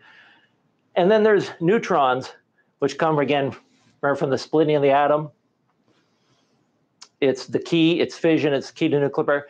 A neutron on its own is not radioactive, but basically everything it runs into is radioactive. So it's it's included uh, largely in this list. Um, and again, it's important to know the type of radioactivity because we can manage it differently. They all have different energy levels and different abilities to pass through or to penetrate uh, materials. These alpha particles, again, very large, very heavy, very slow moving by comparison. Well, they can be blocked by a single sheet of paper or your skin. They won't penetrate. They won't. But you don't want to breathe them in because your lungs have no protective layer called skin. So you don't want to bring. So that's why if you've anybody ever heard of someone with radon gas in their home over a certain level, then you come in and you put in pumps or air replacement system like to remove the radon from the home. And because it's heavy, it's a gas, it tends to sink down the basement. So if you've heard of people with radon issues, it's in basements. this beta particle, again, the thing comes from the sun, it can be blocked by sheets of plywood. It can be blocked by clothing. Again, it's faster, um, so they can penetrate a little further, again, than a sheet of paper, but they're less likely to cause, harm because they have less energy overall. Gamma and neutrons require thicker material. So in this case, they show like a meter of concrete um, as a shielding. Um, gamma rays, X-rays can pass entirely through your body. The other ones typically cannot. Um, and as they pass through, they may cause some damage to tissue. That's why they can be used to treat cancers because they can cause damage to tissue. They can kill cancers. Um, again, neutrons not direct source, but but we still want to control where they go. So there's all sorts of shielding around nuclear power plants because you don't want the neutrons running into other things and potentially splitting them apart and, and again, becoming source of radiation. So again, so even though there's radiation all around us, the real issue is exposure. How much are we exposed to? Again, we all live in natural background. Natural background in Canada is about what's called three, three millisieverts. And a millisievert is just a measure of radioactivity that can uh, uh, interact with the body. The typical annual exposure to a nuclear worker in Canada is one millisievert, so less than background we do lots of things to protect workers from radiation in the industry. uh, Cameco, underground, for example, because radon can come out of uranium decay series, we pump, we, I can't say it anymore, I'm not with Cameco anymore. Um, uh, when I was there, Cameco was pumping 1 million cubic meters of air a minute into the mines to flush the radon out, to always ensure there's fresh air, always ensure there's fresh air. You're underground at the mining Cameco and you feel wind at your back, and that's always pushing it away. So we design radiation protection to all parts of the nuclear industry. So workers get exposed to a level of radiation across Canada on average that's about the same amount that the Canadian Nuclear Safety Commission says the public should not be exposed to anything more than one millisievert. And where I said again, the people around the Ontario plants, they get less than 1% of one millisievert all the people who live in those communities. That's a very, very small. But again, but we design to do that in the industry. So again, the people who live around Darlington, Pickering get about the same exposure you get from a chest x-ray. The Canadian Light Source in Saskatoon, which again is a nuclear facility, they get even less exposure because that's the type of facility it is, the type of radiation it creates, those kind of things. and workers in Canada have an annual limit of no more than 50, 50 millisieverts. But I can tell you as an industry, we would never allow anyone to get to that. We have what's called action levels, which tend to be 10% of that level or even less. So if anyone gets, you know, five millisievert for some reason, we act.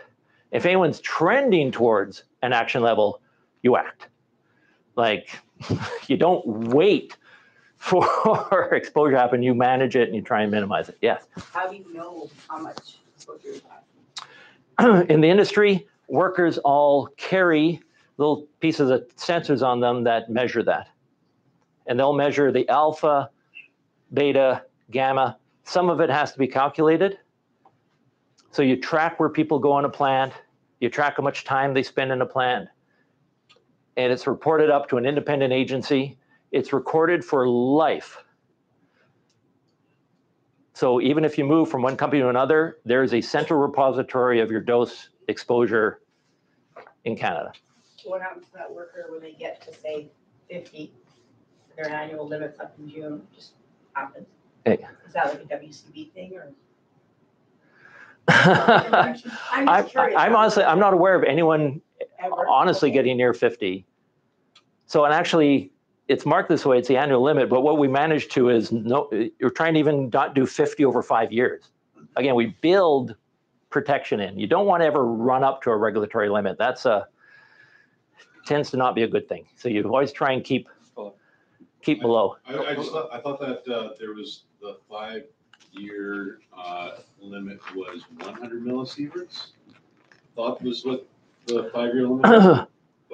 Yeah, That's so. My recollection is. No, it's a fair recollection. Yeah, you may be right. It's also more, but again, how industry manages itself. Like we, we, yeah, you're right. It might be 100 over five years. So, but that means 20 millisieverts a year, right? That's what you're trying to. So, yeah, we take care of this kind of thing. Al?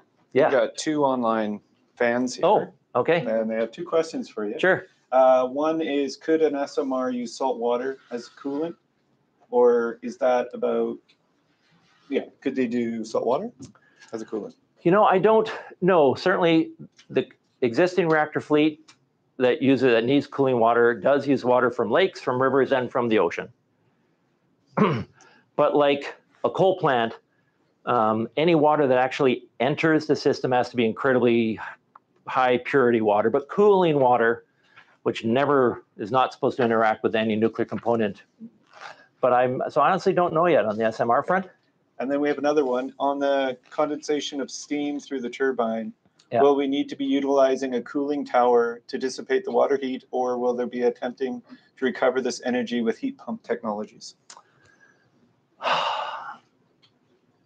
Uh, in my extra slides, I have a slide to that, so I'll try and answer it. So most power plants use water cooling systems. They have the option of air cooled systems. Actually, very, very few use air. It is a possibility um, to use air, but again, some of these generation four reactors, small modular reactor types, which are proposing to use helium gas or molten salts, those things, aren't water requirement at all.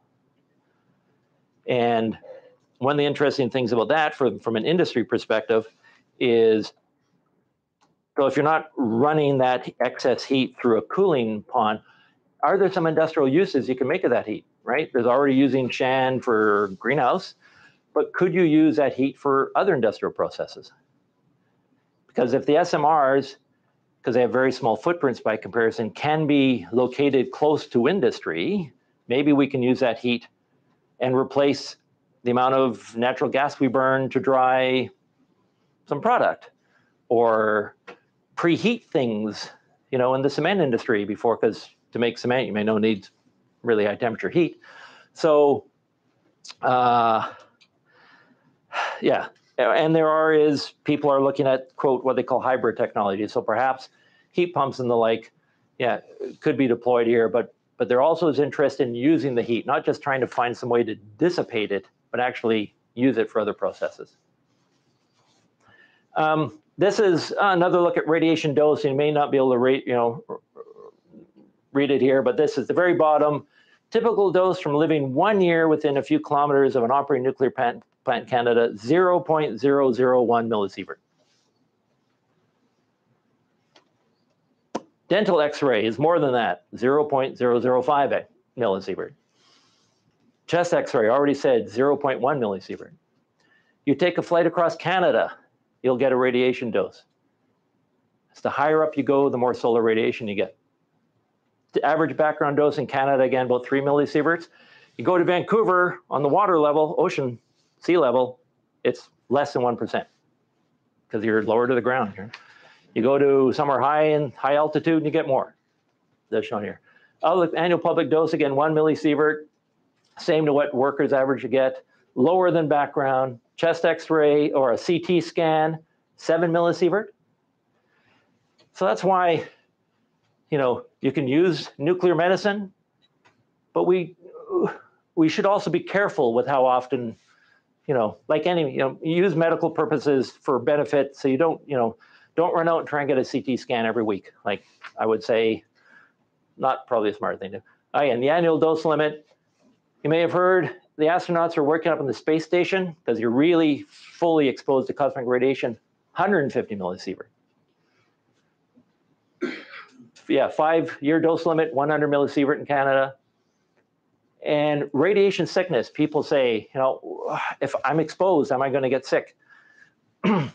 Doses that may cause symptoms radiation systems is 1,000 millisievert. That's a very, you know, high number for a reason, you know? So we do our best to keep exposures way down here, and we do everything we can to avoid, and like anything, even getting a 1,000 millisievert dose. And I've had people say, again, in Canada, you know, how do you really know this one millisievert or background is safe, right? Well, there are parts of the world where the average background dose is Niger, 95 millisieverts. You know, the list here we got, um, no, yeah. In northern Iran, 260 millisieverts. If you ever been to the White Cliff of Dover, it's it's up there too. Um, yeah, so it varies around the world. There are hundreds of millions of people living in areas that have radiation doses high, what we would consider high. So to protect ourselves from radiation, there's three fundamental things you'll hear people talk about. You try and, it's called time, distance, and shielding. We're going to seek to minimize the amount of time wherever we're exposed to a radiation source. We're going to keep our distance from it. And if we can't do those things, we're going to shield it. Anyone in oil and gas? Anyone use a radioactive source in oil and gas? How many do you use? Many. Yeah. So you can talk about it there. Pretty much uh, all radioactive sources, my memory in oil and gas is they're all shielded. They're all kept away from people. They're under storage. And you minimize, you only take them out when you need them. You don't leave them out in and about. You don't do that. Has everyone had an X-ray? Just think about that, you know, that experience of an X-ray. Um, you know, again, we always try and minimize the amount of time an X-ray technician might get exposed, right? They put you in the room to take the X-ray, they step out. If they can't step out, they step away. They can't, and if they step away, they can't get out, they're behind some type of shielding the parts of your body we don't want irradiated tend to get a lead apron, lead apron put on them. So these principles of radiation safety occur throughout the industry that uses nuclear. And that's not just power. You'll see this in everything nuclear. We use it in the mines, mills, all those steps. This, these elements of radiation safety are used for nuclear power plants, back on you know the question about when it's used fuel, is it hot? Yeah, so that's all done autonomously. People don't go near it. Time distance, shielding. It's stored in shield containers. It's stored at these pools Sorry, I, I'm not an engineer, but sometimes really, you look at a spent nuclear reactor fuel or used fuel reactor cooling pool, and which I've done, you think, wow, I could reach down and touch it, but you can't because it's like 40 meters deep, but it, the water is so clean, it just looks like it's right there, but it's not. It's like way down deep. Like it's it's water is actually a great shield for uh, for radiation.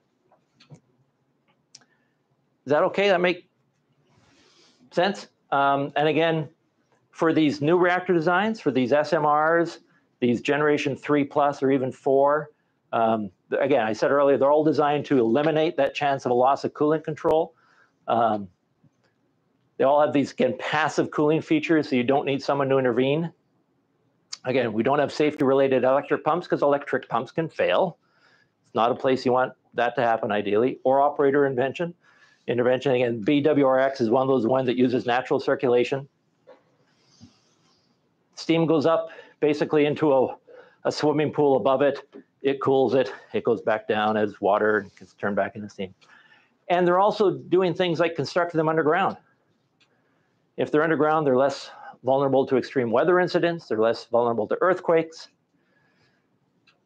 And you can do that with the smaller reactors. You can, and the ground, the soil, is also a wonderful shield. So those are some of the features you'll see in the SMR designs that are coming forward here.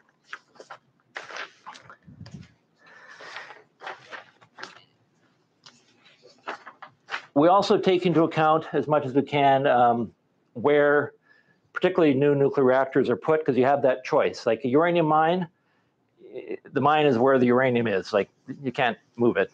But reactors, we have some choices. And there's right now, I'd say for the SMR world, there are these three challenges: the demonstration projects, the utility scale SMRs, industry scale micromodule reactors. These are new technologies, so we have to find good places to try them, and we have to help them happen uh, well. So again, in Canada, an MMR demonstration project happening at Chalk River, which has been the home to many experimental reactors over the years in Canada.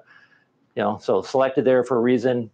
The first utility scale Ontario Power existing site with an experienced operator. Right, we're trying to pick good siting places to um, to try and address some of these siting challenges. Um, all these first of a kind, we really need to happen really well. They have to be well managed, well executed, well constructed. Because again, unfortunately, part of the criticism of nuclear power, the large nuclear power plants is they take a long time, they have cost overruns, they're more expensive. So we need SMRs to really um, do well on that front. And so that's why, you know, we're looking to do demonstration at or on existing nuclear uh, sites. Um, this global first power at Chalk River is one of these high temperature gas cooled units. So again, it will not need water for cooling. It's going to rely on helium gas for cooling. And again, all the first utilities are being looked to build at on a on existing sites like Ontario Power. Now, hopefully, this will help us all uh, address some of the licensing challenge. SaskPower, if we go ahead, we're going to be among the first full utility scale SMR deployments at a site not already, you know, used before. So. So that can be really exciting,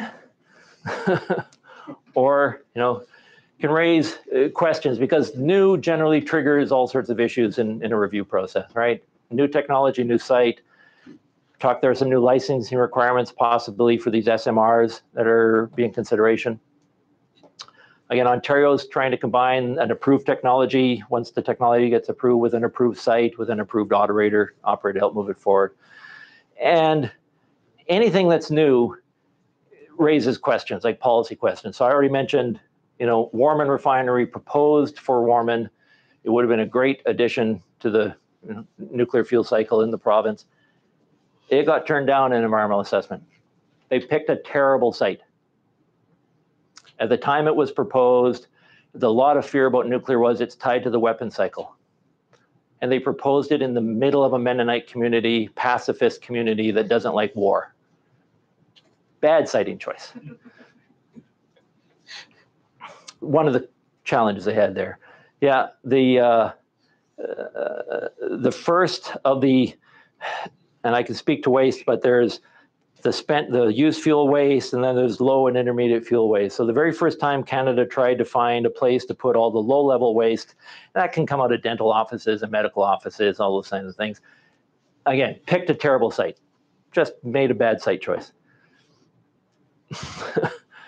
um, and the current high level repository work is trying to address that by not picking a site, by inviting people to be a host they, we finally learned and went, let's not just say here, but who wants it? And how do we help you make the choice if you want it? So we are starting to learn in the industry. Um, and you know, I think SaskPower largely is you know also looking for people who want to host a site. Um, now, in the choice of picking nuclear, people will say, again, particularly those who are opposed to it, well, we should just build solar and wind, right? Solar and wind is better, right? Just is. Well, I'm a big believer in something called life cycle assessment. I'm a big believer in looking not only what it looks like when it's running, I want to see where it all comes from and what's going to happen to it when it's done. So these are I'll go through if you if you're okay with it several of these life cycle things. So materials, how much do you need to build operate something, right? Solar, photo, photovoltaic solar um, needs more than 16,000 tons of materials to generate a terawatt hour of electricity. That's a that's a lot of electricity, but this was to allow it to all be equalized. So you need a lot of material for solar. Wind, more than 10,000 tons of material for a terawatt hour. As a mining person, we actually like it. There's much more materials required for green stuff than there is for fossil. So if you're into mining, this is good. Um, hydro, more than 14,000 tons of material, largely in cement. Hydro dams are big concrete structures, so need lots of cement. Geothermal significantly falls off, and I know geothermal is being considered there as well. Okay, ah, a little more than 5,000 tons a terawatt hour. Nuclear, way down here. And this is life from mining, milling, refining, conversion, enrichment, fuel fabrication, fuel operation, storage, decommissioning, disposal, all in. So if we're worried about how much material we use in this world, nuclear for electricity generation needs the least amount of material. How available is the energy? Well, there's life cycle considerations of capacity factors. Nuclear is the most reliable. We all like being able to turn the powers on, lights on, run our computers, run our offices, run our shops, heat our plants, heat our homes. We like that. These are the Capacity factors across the entire United States for all generation types. Nuclear, more than 90%. Geothermal, good base load, more than 70% available. Natural gas, more than 50. Coal, more than 40.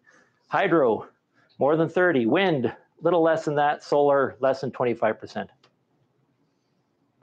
So the interesting part from a land perspective, and this is I think some of the reason why there's pushback in Alberta over solar and wind installations is the land requirement.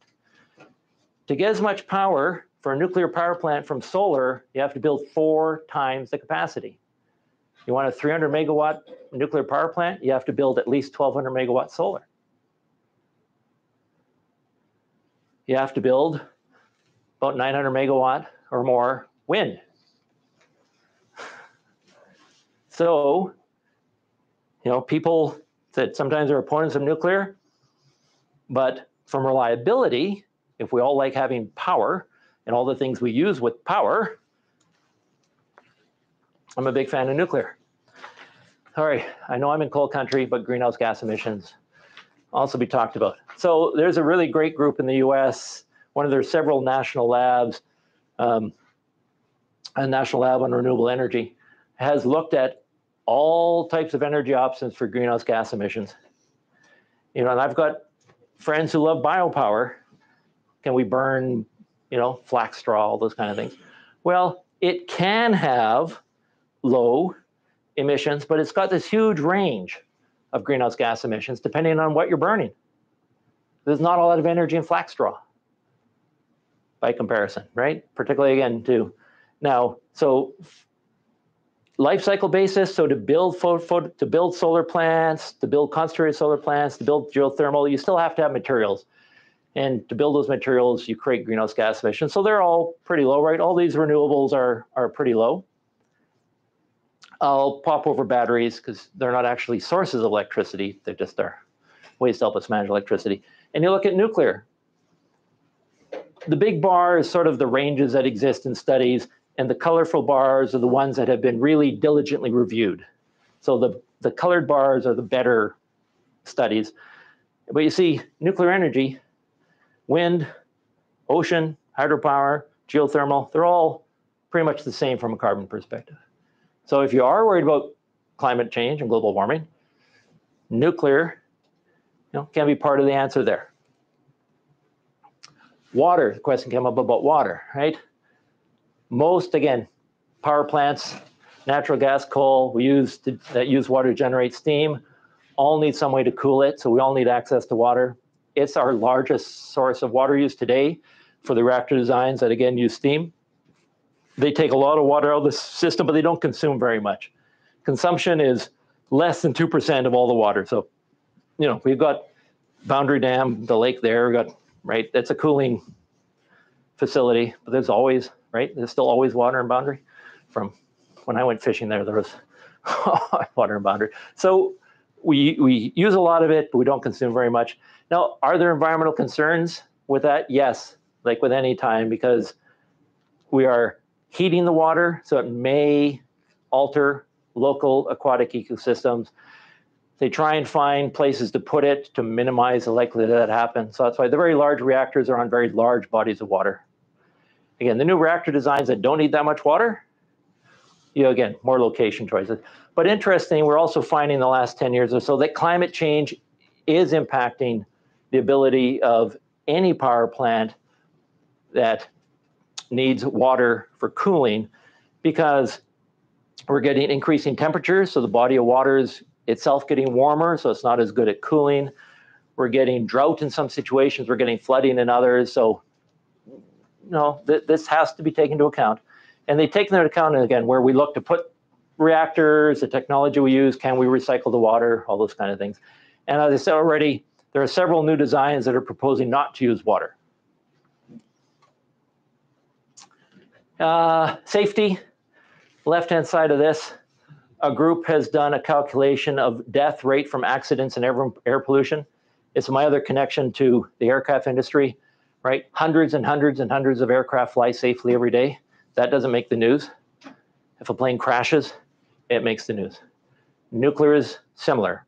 We got hundreds of nuclear power plants operating safely every day. That's not in the news, but if there's an accident, fortunately, there have been very small number of nuclear accidents. So this looks at the death rate. Unfortunately, coal largely influenced, I can tell you, by coal mining practices in China, which are not, shall we say, as strong. Um, so we we have, if you count death as the ultimate safety impact, nuclear taking all in, including deaths from Chernobyl and Fukushima, right? 0.03 deaths, pretty much like solar and wind. No. So it is among the safest and the cleanest sources uh, of energy. All in. And we already had some questions about waste. Again, we have options for dealing with it. If we're not going to recycle, uh, we can do deep, deep geological disposal. And one of my engineering friends said the CANDU reactor fuel after about 100 years is no more radioactive than what we mine here in Saskatchewan. You could readily re, reuse it from a radioactivity perspective. And again, a plus, all nuclear waste is solid, it's contained. 80% of all radioactive waste of all types, what are called low intermediate, because again, medical offices generate nuclear waste and um, it's 80% of all that's ever been generated is now in disposal. Around 95% of all radioactive waste is what's called low or intermediate. Very, very small portions of, of nuclear waste are, are what's called high level waste, so fuel waste. It's less than 1% of all the radioactive waste that's ever been generated. Very small amount. And these are just some other numbers over. Uh, there has again been reprocessing, reuse of fuel in several countries. Most countries, I said most, but they have we have ways to finance this. We're not asking people to you know, the industry finds the money to ensure this all happens. And of all hazardous waste shipped every year, and there's lots of hazardous waste shipped around the world, less than 5% is radioactive. And of that, less than 10% is related to nuclear power. We safely manage waste. I also get the question, because I'm thank the question about recycle, because everyone says, well, but you know, uh, yeah, we don't have a way to deal with the waste. Well, I will challenge you, and I just couldn't find the resource that I know I have on. Have you ever thought about how you recycle a wind turbine? You probably have already heard up until about now, everything Apple's ever made is not recyclable. You've heard about the problem with e-waste. Like, sorry, I'm I.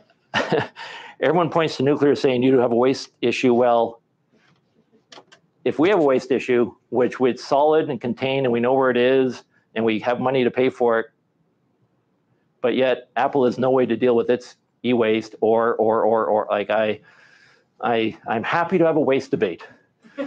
Um, as a eh, very happy to have a waste debate, you know. And I know I even had some friends say, well, but it could be. Well, but then so could nuclear. If you want me to accept that everything green could be recycled, you have to give me that so could nuclear because I already have a history of recycling nuclear spent nuclear fuel. I already have that history. You don't. I have in my area, people say, oh, we don't need new lithium mines. We can just recycle your lithium. No, there's no lithium recycling today. We're all going to have lithium in our batteries. So I'm coming to an end here with what I have. So just, you know, if you're interested in supporting the nuclear option in the province, I'm going to say there are some things I would encourage that you to think you can do. Um, it's a term called social license. It's a bit of an old term now. You may have heard not in my backyard, right? People don't like things that are new or different and, and all sorts. Of, and again, and there can be fear factors and concerns for impacts. I understand. But I think we can help people overcome and help build the conditions for social license. So you can educate yourself about nuclear. You know, there was an offer of the site, you know, the NWMO site. There's lots of material out there. Um, and hopefully what you're learning tonight is, you know, you found informative. And then engage others. My experience is don't be afraid to engage others in the question. And if you don't know, you just say, I don't know. But I'm prepared to learn. And I would encourage you to learn. Like you say that to others, like, please learn. Like, um, encourage energy literacy. So I'm going to tell a story. I, I went to school for a little while in, in Ontario around the time Ontario Power was trying to figure out where they're going to get power from for the next 25 years. And they asked the people in Ontario where they get their hydro from. That's what people in Ontario call electricity. It's hydro. And they said, well, I get electricity from the plug in my wall. And you ask them, well, how do you get more electricity? I, I put more plugs in my wall. That was the opinion of 88% of the Ontario population. I don't know how you do energy planning if people think I get more energy by putting more plugs on my wall. so we have to help people understand, I think, that every energy option has pros and cons. Again, right? If you're worried about how much materials have to be mined, well, then look at how much materials needed for solar and and and wind. Already today, there's more materials being mined for energy than there ever has been because of we're going solar and wind. There's hundreds of more kilograms of metals in a battery electric vehicle than one fired powered by gas. Hundreds. Said miners, we like this because it's just more materials and more mine stuff. Like it's just so I think we have to help people understand, yeah, that there's pros and cons, and it can be on materials or land used, or again, the concern seems to be the concern on, in Alberta, uh, you know, water consumption, safety. Okay. Um, we, I, I like to say we should promote um, common language or consistent language on the value of nuclear and what it can do to help us, particularly in greenhouse gas emissions reduction. Um, and again, I look to Alberta, uh, got colleagues there in the oil sands industry. What's the other name for the oil sands industry? Sands. The tar sands. That, that, that can happen. You can get, people can use language against your energy option. Right? No one talks about coal and the energy it provides is talk about how dirty coal is, right? Language matters in the energy debate. And I do encourage people to fight fiction with facts because there's lots of fiction out there. And we all know this through social media and other things, lots of it. So again, hopefully something I, some of the stuff I provided here, eh, you'll see eh, everything, I'm gonna say, practically everything I provided here, I have the resource for. Like I can tell you where I got that from. Um, and I do enjoy, if you've never heard of her before, there's a woman called Isabel Bonk. If you're, sorry, I'm not great on social media. Sorry, I'm of the age where I say, when I started school, there weren't computers of any type yet. You know, my grade 12 grad gift was a typewriter, so I could, you know, anyone even use a typewriter, right, anymore? So, uh, I know she's a young woman, smart, nuclear influencer. She's called her site's called Isodope. She's really funny and engaging, all those things that we want young people to be when they're on social media, uh, but really well grounded in in in knowledge. Um, so with that, I want to say thank you. I have absolutely no idea of time, but I honestly, I've really enjoyed it. And I hope you had too. And I'm still happy to take questions if you want to keep discussing it, because I drove all this way from Saskatoon. I'm not going home, so I'm here tonight. So yeah, more Uh, questions. Yeah. Just, uh, um, one thing you haven't talked about is, is, uh, meltdown risk, like in terms of, I've had conversations with Yeah. people that are fearful about meltdown. And like my understanding is that they've become so, so safe that we have very little risk of that. But even in the event of a meltdown, like what we saw at Fukushima, uh, what kind of actual human impacts were there? Like was, how bad was Fukushima even, right? Like, Sure. I Yep. don't know that. Yeah, a great question, and I do have a slide on it. I'm trying to decide if I should use it or not. So, yeah, that loss of coolant accident, which is what happened in Fukushima, is what's being designed out of all the new reactor designs, so that there is not core meltdown. Um, Three Mile Island, people, anyone heard of Three Mile Island, which is an accident back in the 1970s? It was quote the worst nuclear accident in, in the United States history. It was a partial core meltdown zero deaths, zero, I'm going to say zero harm because it actually went to court many, many times in the US. The radiation that got out of the plant is 5% of an X ray dose.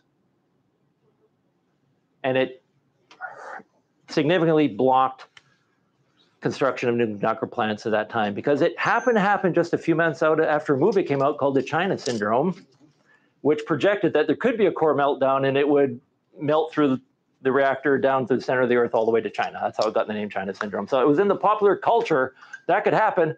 And then it almost happened. And because there was an electric failure in one of the valves. So again, we're designing electric, that stuff, we're designing that out. Like I said, we, we do learn. Fukushima, and I can cite ahead, but I, I'll go by memory, had one death from the accident. But Fukushima still at the west coast, uh, in, in the aquatic, uh, area. There is lots of, uh, uh, life, animal life that is actually still dying. Hey, so um. So this is going to be one of my, uh, I'll- I'll try and bring some of the facts here. So again, so on the human side, there was one death. There were, I believe, I mean, I can't remember if it's more than 17,000, more than 19,000 deaths from the earthquake and the tidal wave. And that's not to minimize, right? It, but, so there one death from the nuclear accident itself. Um, there was impact on aquatic life immediately afterwards. But the studies that show 10 years later largely recovered. If you look even at Chernobyl, the environmental area outside of the immediate area around Chernobyl has got better biodiversity and animal populations than before because we took people out of the environment and we also took dogs and cats out. Amazing what how many animals dogs and cats will kill in a, in a community. Um, there's a uranium mine in Australia, which is in the middle of a national park, and the town that supports it, it's against the law to have a dog or a cat because they kill more wildlife than anything that happens at the mine. So you actually can't have it if you live in Jabiluka. Um, so yeah, I'm full of all these strange little things. Um, I got a question from someone online here.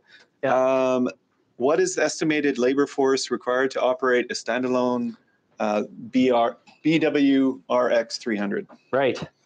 Uh, I do have that. I'm just going to flip through.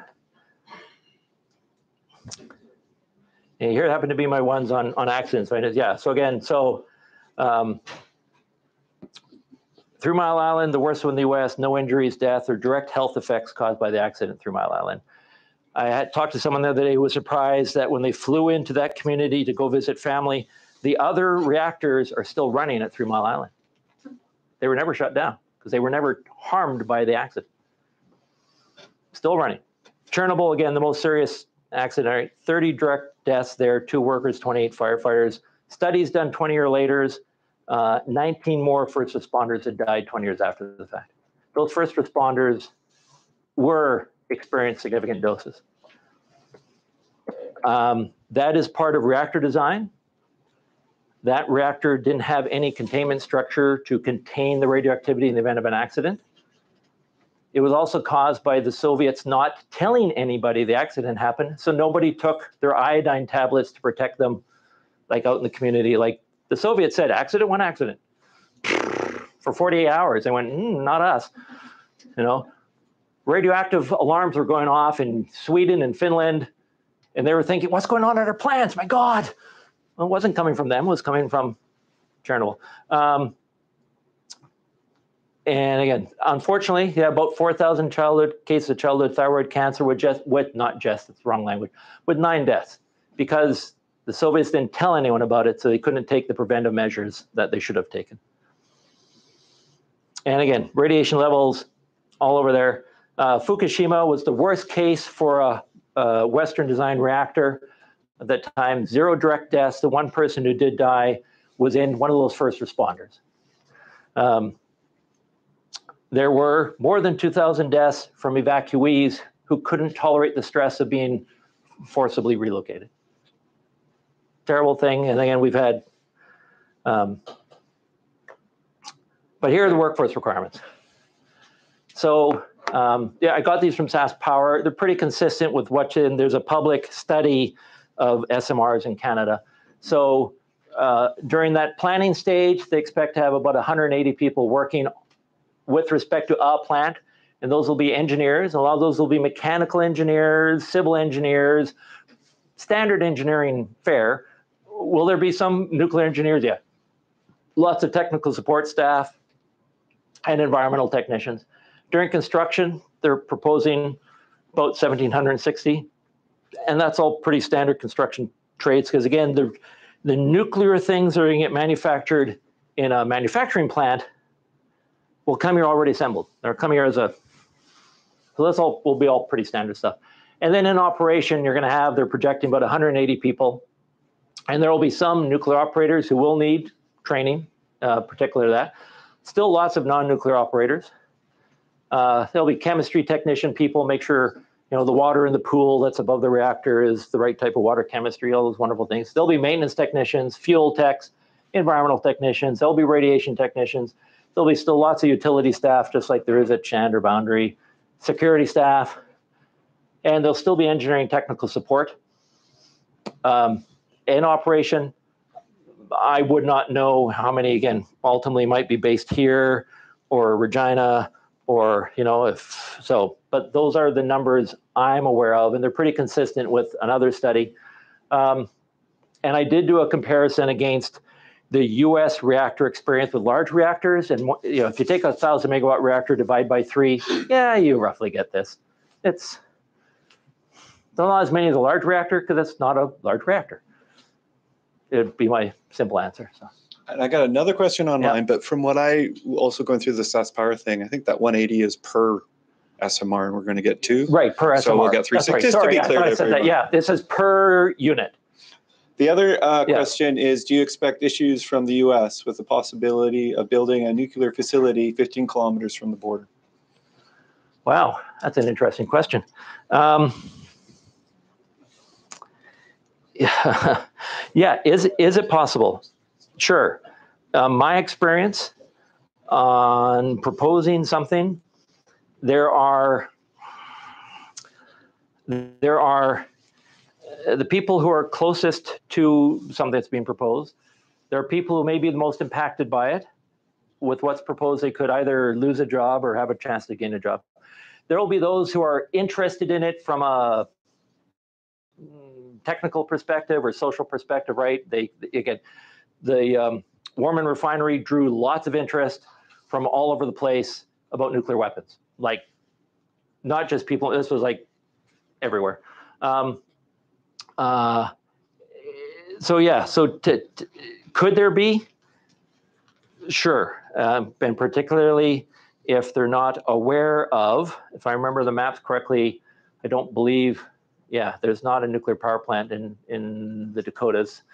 I'm just trying to remember where all the maps are, dots are on the map. But uh, so, yeah, so if you're not experienced with it, sure, that could attract attention because people just may not know. They may have that question what if there's a core meltdown and the wind blows, you know, into the Dakotas? Could they be concerned if they don't know? Sure. And I think, what do you guys say? We wrap it up, but you'll stick around for Oh, yeah. some- just questions? Um, Okay, cool. Um, So before I say thank you, I just want to let people know, so this is just one of first events. So oil and gas people, coal, um, on October the 5th in Regina, as a part of the energy show that we of the 4th, uh, Al, uh, SIMSA, and the Tech Hub, myself, will be hosting an event more about the supply chain stuff. Um, we don't have all the answers yet. We're all collecting it. But if you're going to the energy show, or if you guys want to know more about how you can be part of the supply chain, th- that's happening. And as we, we're going to have more events here coming into uh, into Estevan. Yeah, and for me, it's about the supply chain for mining. We think a lot of what happens in oil and gas could potentially cross over to mining. Some of the innovative things you do in oil and gas potentially could cross over to mining. That's really what I'm in. Most of my career again has been in mining, so that's my area of interest. But there will be talk on the nuclear supply chain side. But but maybe there's opportunities in the mining supply chain side outside of coal that or out of oil and gas people could cross into. And then there's one thing I just want to end. I, I've, it, you know, me and Greenpeace have one thing in common. We were both born in Vancouver, um, but something that I ran across that I think I hear another a number of people worried about: Are we going to have protesters if we have this? Um, and I know I said we're not, Yeah. going but this I found really interesting. So the EU has put nuclear power on the official list of green energy for uh, subsidies and what have you. Greenpeace is suing the EU to stop that. John's favorite person, Greta Thunberg, and her group are suing to be, uh, what do they call it? Interveners. interveners against Greenpeace.